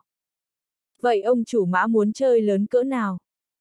Đã chơi xì tố thì phải tất tay, chơi luôn một ván 2 tỷ rưỡi ấn định thắng thua, anh thấy sao? Hứa Chí Thắng kinh ngạc. Một ván 2 tỷ rưỡi ấn định thắng thua, anh ta chưa từng chơi cược lớn như vậy bao giờ. Mặc dù anh ta rất tự tin vào kỹ năng chơi bài của mình, mặc dù nơi này là sân nhà của anh ta, từ nhân viên chia bài, nhân viên phục vụ đến vệ sĩ, tất cả đều là người của anh ta, là cao thủ trong số các cao thủ, ngoài ra còn có mấy chục camera, máy cảm ứng hồng ngoại, thế nhưng hứa chí thắng vẫn thấy hơi hoảng hốt. Anh ta nheo mắt nhìn chằm chằm Mã Sơn. Rốt cuộc đối phương dựa vào đâu mà dám chơi tất tay. Ông chủ Mã nghiêm túc chứ? Đương nhiên, Mã Sơn nói, tôi thích tất tay, đang may mắn thì phải chơi tất tay mới được, ha ha ha.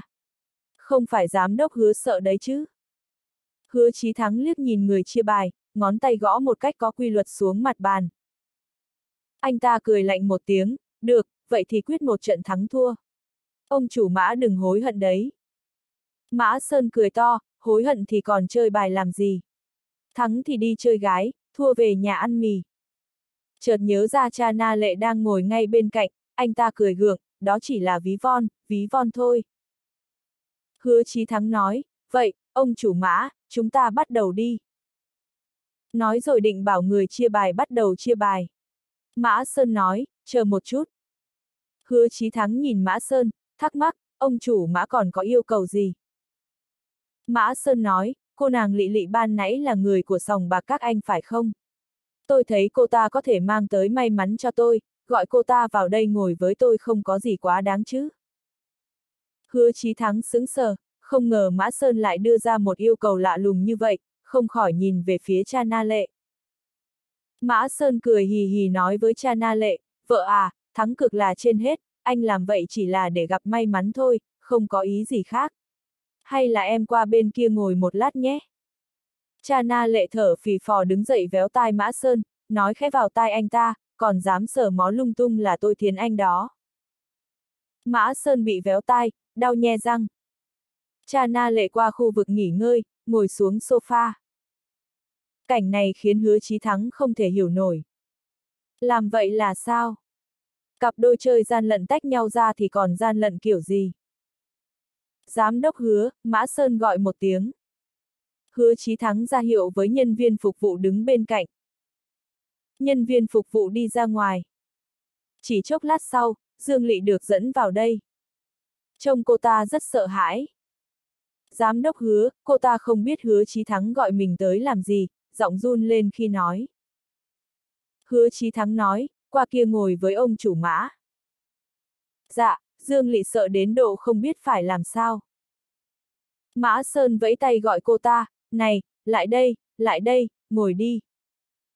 Không nghe thấy ông chủ mã nói gì sao, hứa Chí Thắng lạnh lùng nói. Dương Lị dùng mình, bất đắc dĩ phải đi lại chỗ Mã Sơn, rụt rè ngồi xuống.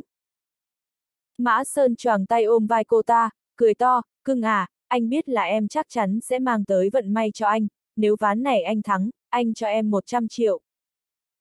Dương Lị gượng cười, nụ cười méo xẹo, khó coi hơn cả khóc. Trong lòng cô ta biết rõ, nếu như ván này Mã Sơn thắng thì đừng mơ tới 100 triệu, e là cô ta sẽ tiêu đời. Ông chủ Mã, có thể bắt đầu được chưa? Hứa Chí Thắng hỏi. Tôi vẫn còn một yêu cầu. Gì vậy? Tôi muốn để cô ấy làm người chia bài, Mã Sơn vỗ vai Dương Lị. Hứa Chí Thắng nhíu mày. Giám đốc hứa, tôi không có ngu, người chia bài của sòng bạc các anh đều là cao thủ chơi bạc bịp. Dụng cụ chia bài này, chiếc bàn này, tất cả đều là cơ quan. Anh nghĩ tôi không biết à? Mã Sơn thôi cười, đột nhiên trở nên nghiêm túc. Cô Lị Lị đây cũng là người của sòng bạc các anh đúng chứ?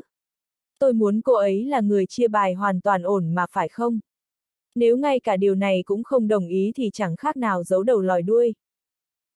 Hứa Chí Thắng cười lạnh nói, được, tôi đồng ý yêu cầu này của anh. Anh ta đánh mắt ra hiệu cho người chia bài, người chia bài lập tức nhường chỗ. Không không không, giám đốc hứa, tôi không làm được đâu, Dương Lị cuống quýt xua tay từ chối. Hứa Chí Thắng lạnh lùng nói, bảo cô làm thì cô làm đi, cứ chia bài như bình thường là được, không cần phải quan tâm chuyện khác. Đi đi cưng, Mã Sơn bóp người Dương Lị một cái. Dương Lị nơm nớp lo sợ đứng dậy, bước tới chỗ máy chia bài. Vị trí của cô ta ở chính giữa bàn, hai đầu lần lượt là Hứa Chí Thắng và Mã Sơn, đối diện, trên chiếc sofa cách đó không xa là cha Na Lệ. Ánh mắt sắc bén của cha Na Lệ mang theo sát khí như thể bực bội vì động tác bóp người vừa rồi của Mã Sơn. Dương Lị nhìn thấy ánh mắt của cha Na Lệ, cảm thấy lạnh toát toàn thân, sợ sởn da gà. Hứa Chí Thắng lạnh lùng quan sát tất thảy. Anh ta không đoán ra việc để Dương Lị chia bài thì có vấn đề gì. Nếu như đối phương cho rằng Dương Lị không biết chơi bài bịp là có thể phòng ngừa việc sòng bạc gian lận, nhờ vậy có thể dựa vào may mắn để đánh cược một lần thì quá ngây thơ rồi. Tiền đặt cược 2 tỷ rưỡi, sao sòng bạc có thể đánh cược vào vận may giống anh ta được. Dương Lị bắt đầu chia bài. Tay cô ta liên tục run rẩy, xem chừng rất sợ hãi. Nhưng bài vẫn thuận lợi được lấy từ máy chia bài, chia từng lá một cho hai người. Vì chỉ chơi một trận ấn định thắng thua nên không cần phải đặt cược trước, bốn lá bài đầu tiên đều là bài ngửa. Trong số các lá bài ngửa, Mã Sơn có một đôi sáu, hứa chí thắng có hai đôi, một đôi mười, một đôi ca. Bài không quá đẹp, không có chuyện dễ dàng ra được 4A hay vừa đồng chất lại vừa tiến lên, bài tôi đẹp, bài anh cũng đẹp kích thích như trong phim. xác suất đó quá nhỏ, nhìn là biết ngay là ăn gian. Cao thủ chơi ăn gian thực sự sẽ đưa bài về tình huống bình thường. Đương nhiên, bài của Mã Sơn quá nhỏ, một trọi sáu, thông thường chơi xì tố đến đây là đã bỏ bài rồi. Bất kỳ đôi nào trong hai đôi của hứa chí thắng đều có thể chặt đẹp Mã Sơn. Hy vọng duy nhất của Mã Sơn là lá bài thứ năm của anh ta là 6, còn của hứa chí thắng thì không được là 10 hoặc ca. Cơ may này có vẻ quá xa vời. Dương Lị hé miệng run rẩy phát lá bài thứ năm tới trước mặt bọn họ. Để tăng phần hồi hộp, lá thứ năm là lá úp, mặt bài úp xuống.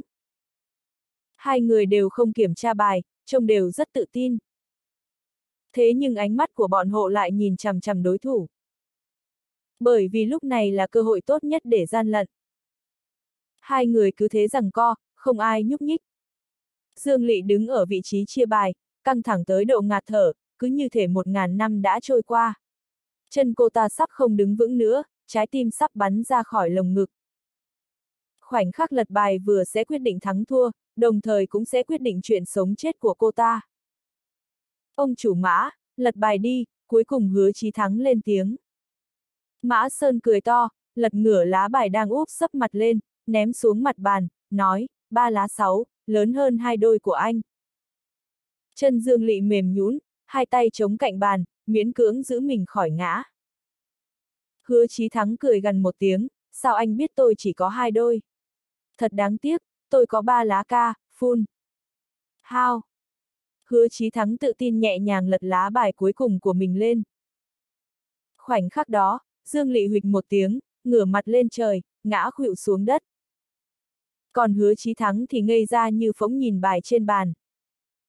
Lá bài cuối cùng đó là quy. Hứa Chí Thắng không sao hiểu nổi, rõ ràng lá bài cuối cùng của anh ta là ca, tại sao lại biến thành quy? Bài là bài của sòng bạc, phòng là phòng của sòng bạc, bàn và máy chia bài đều là hàng được chế tạo đặc biệt, chỉ có các quản lý của sòng bạc mới biết cách dùng. Mặc dù người chia bài bị đổi thành Dương Lị nhưng Dương Lị không thể có vấn đề gì được. Cho dù Mã Sơn có mua chuộc được Dương Lị thì cô ta cũng không có bản lĩnh đổi bài. Cô ta chỉ là một tay vịt, nếu cô ta có bản lĩnh ấy thì đâu cần dựa vào bán sắc, dụ dỗ khách hàng đổi chip đánh bạc để kiếm tiền hoa hồng. Vậy thì vấn đề nằm ở đâu? Hứa Chí Thắng nhìn về phía Mã Sơn. Anh ta chắc chắn Mã Sơn không gian lận, toàn bộ sự chú ý của anh ta đều tập trung vào Mã Sơn, toàn bộ camera ở đây cũng đều nhắm vào Mã Sơn. Trong tình huống như vậy, dù Thiên Vương có ra tay cũng không thể cháo bài. Hứa Chí Thắng bỗng nhiên nghĩ tới một chuyện, anh ta quay ngoắt đầu lại, nhìn chằm chằm cha na lệ ngồi ở ghế sofa. Đây là điểm duy nhất không được chú ý. Anh ta nhớ đến chuyện 2 tỷ rưỡi kia cũng là cha na lệ thắng được. Nhưng vấn đề là cha na lệ thắng được 2 tỷ rưỡi ở tầng dưới là nhờ có Mã Sơn thu hút toàn bộ sự chú ý để cô ta có cơ hội đặt cược. Còn hiện tại, cha na lệ không ngồi bên bàn, chỉ ngồi ở sofa. Sofa cách bàn đánh bài ít nhất 5 mét. Nếu như vậy mà vẫn có thể cháo bài thì thực sự không thể giải thích bằng kỹ xảo chơi bài bịp được. Các người, làm thế nào vậy, mắt hứa chí thắng vằn đầy tơ đỏ, như thể đã mất ngủ ba ngày ba đêm dòng. Chỉ là may mắn thôi mà, Mã Sơn bắt trước cách nói chuyện của người hào giang, giám đốc hứa, anh thua rồi. Giờ thì sòng bạc của các anh phải trả tôi 5 tỷ. Hứa chí thắng tái mét mặt, cắn răng nói, thắng hay thua còn chưa chắc, chúng ta chơi tiếp.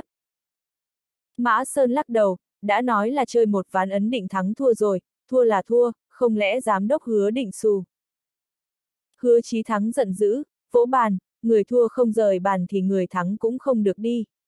Làm gì có chuyện thắng được tiền xong là lập tức đi luôn như vậy. Có bản lĩnh thì cược tiếp với tôi. Mã Sơn cười gằn, hóa ra vô sòng bài hào giang cũng chỉ vậy mà thôi, 5 tỷ cũng không dám thua. Cược tiếp thì cũng được thôi nhưng anh đã thua tôi rồi, không có tư cách cược với tôi nữa, tôi muốn chơi với người lợi hại hơn. Anh, hứa chí thắng chỉ tay vào Mã Sơn, tức run người. Mấy tên vệ sĩ bao vây xung quanh, chỉ cần hứa chí thắng ra lệnh một câu, bọn họ sẽ không chút do dự động thủ với Mã Sơn. Mã Sơn lạnh lùng nhìn bọn họ. Lồng ngực của hứa chí thắng phập phồng lên xuống, bỗng phụt một tiếng, anh ta phun ra một búng máu tươi, máu bắn lên mặt bàn, cơ thể loạn choạng, ngã ra đằng sau. Người chia bài đưa tay ra đỡ hứa chí thắng, gọi, giám đốc hứa. Đồng thời la lên với bọn vệ sĩ, các người còn đứng ngây ra đó làm gì? Bọn vệ sĩ lập tức định động thủ. Nhưng hứa chí thắng lại thều thào nói, dừng lại, cho bọn họ đi. Giám đốc hứa. Có chơi có chịu, cho bọn họ đi. Nhà họ Hà Hào Giang rất giữ chữ tín. Các người yên tâm, hôm nay người thua là tôi, một mình tôi chịu trách nhiệm, không liên quan gì tới mọi người, ông chủ sẽ không trách tội mọi người đâu. Lời hứa Chí Thắng nói khiến Mã Sơn khá bất ngờ. Bình sinh, Mã Sơn coi trọng nhất là nghĩa khí, cũng kính trọng những người có nghĩa khí. Thấy hứa Chí Thắng trọng nghĩa như vậy, Mã Sơn ái náy nói, giám đốc hứa, thực ra tôi không cần 5 tỷ này, mục đích tôi tới đây. Mã Sơn chưa nói xong, hứa Chí Thắng đã giơ tay lên ngăn lại. Anh không cần phải nói gì nữa, có chơi có chịu, chỉ trách tôi tài nghệ chưa đủ. Nhưng anh đừng mơ dùng chuyện này để làm nhục tôi. Tôi không quan tâm mục đích của anh là gì, anh mau đi đi, tiền sẽ được chuyển vào tài khoản cho anh. Nhưng tôi muốn nhắc nhở anh một câu, sử dụng ngón bài bịp thì phải biết thế nào là đủ. Nếu không, dù có kiếm được cũng chưa chắc đã còn mạng để tiêu đâu. 5 tỷ không phải con số nhỏ, anh tự lo lấy thân đi. Hứa Chí Thắng nói xong, phẩy tay, ngồi xuống, cúi đầu, không muốn nói với Mã Sơn thêm một câu nào nữa. Mã Sơn biết hứa Chí Thắng đang nhắc nhở cũng là đang cảnh cáo mình. Song bạc coi trọng uy tín nên sẽ không quyệt 5 tỷ này của anh ta nhưng anh ta cầm 5 tỷ trong tay liệu có thể rời khỏi Hào Giang được không thì khó nói. Mã Sơn chắp tay với hứa Chí Thắng, nói, cảm ơn. Nói xong, anh ta đi về phía cha na lệ, chúng ta đi thôi. Cha na lệ đứng dậy, đi sóng vai bên cạnh Mã Sơn, tiến về phía cửa ra vào. Cửa ra vào bỗng mở toang ra, một giọng nói sang sảng như tiếng chuông đồng chợt vang lên. Không ai được đi.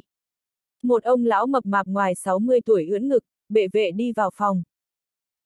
Người này vừa vào phòng, trong phòng lập tức xuất hiện một luồng uy áp khiến người ta không thở nổi. Mã Sơn khẽ nhíu mày. Xét về mặt khí thế thì thực lực người này không thua gì Lương Chi Huyên đi theo bên cạnh Lý Ngôn Thành. Cha Na Lệ đứng bên cạnh nói nhỏ, ông ta chính là Thái Hòa Trung. Mã Sơn bèn quan sát lại ông lão này một lượt nữa thật cẩn thận. Hứa Chí Thắng vốn đang xa suốt tinh thần tột độ vì thua bài lập tức đứng dậy, không người kêu lên, chú Trung. Sao chú lại tới đây? Tôi không đến thì e là bác Hào phải đổi chủ mất rồi, Thái Hòa Trung bất mãn nói. Hứa Chí Thắng hổ thẹn cúi đầu, xin lỗi chú Trung, là tôi tài nghệ chưa giỏi, tôi. Thái Hòa Trung khoát tay, thôi, việc này không trách cậu. Mở sòng bạc thì phải có lúc thua, lúc thắng. Có điều. Ông ta nhìn về phía Mã Sơn và cha Na Lệ, nếu như có người chơi ăn gian thì lại khác. Mắt Thái Hòa trung sắc như chim ưng, ông ta nhìn bọn họ, cười gần một tiếng. Loạn quyền Mã Sơn, vừa tới Hương Giang đã nổi tiếng, tiếc là tay của cậu sắp không giữ nổi rồi. Mã Sơn đanh mặt lại, này ông già, không muốn trả tiền thì nói thẳng ra, ông nói chúng tôi chơi bẩn, liệu có chứng cứ gì không? Thái Hòa Trung không để ý tới anh ta mà chuyển qua nhìn cha Na Lệ. Cô cha đây là đệ tử đóng cửa của thần nữ Đại Mã, tôi không nhận lầm chứ? Đúng vậy, cha Na Lệ nói. Thái Hòa Trung gật đầu, tốt, chỉ cần thừa nhận là được rồi. Không hổ là đệ tử của thần nữ Đại Mã, đúng là đã cho tôi được mở rộng tầm mắt. Có điều, cô dùng cổ thuật phu thần để chơi ăn gian, sư phụ cô có biết không? Cha na lệ nhíu mày. Cổ thuật phu thần, hứa chí thắng kinh ngạc ra mặt, chú Trung, rốt cuộc bọn họ đã ăn gian như thế nào? Làm thế nào cháo được bài? Thái Hòa Trung cười gần một tiếng, đi lại chỗ bàn chơi bài, cầm đại một lá bài lên, hai tay xoa một cái, lá bài lập tức hóa thành cho, rơi là tả xuống bàn. Trên bàn có thêm một đống cho nhưng đống cho này bỗng nhiên lại bắt đầu khuếch tan ra xung quanh. Nhìn kỹ lại thì thấy có rất nhiều con côn trùng nhỏ bé đang bò. Cô ta hạ cổ trên mỗi lá bài, Thái Hòa Trung nói. Hứa Chí Thắng lấy làm kinh hãi, bấy giờ mới nghĩ ra ở ván xì tố trước, gần như lá bài nào của Mã Sơn cũng là do cha na lệ lật. Cô ta dùng bọn cổ này để cháo bài ư, hứa Chí Thắng vẫn không hiểu, những con côn trùng nhỏ bé này làm thế nào có thể cháo được bài. Ngoại trừ cổ đương nhiên còn cần phải có sự giúp sức của con người. Thái Hòa Trung đi sang bên kia bàn, liếc nhìn Dương Lị nằm dưới đất. Audio điện tử võ tấn bền. Hết tập 56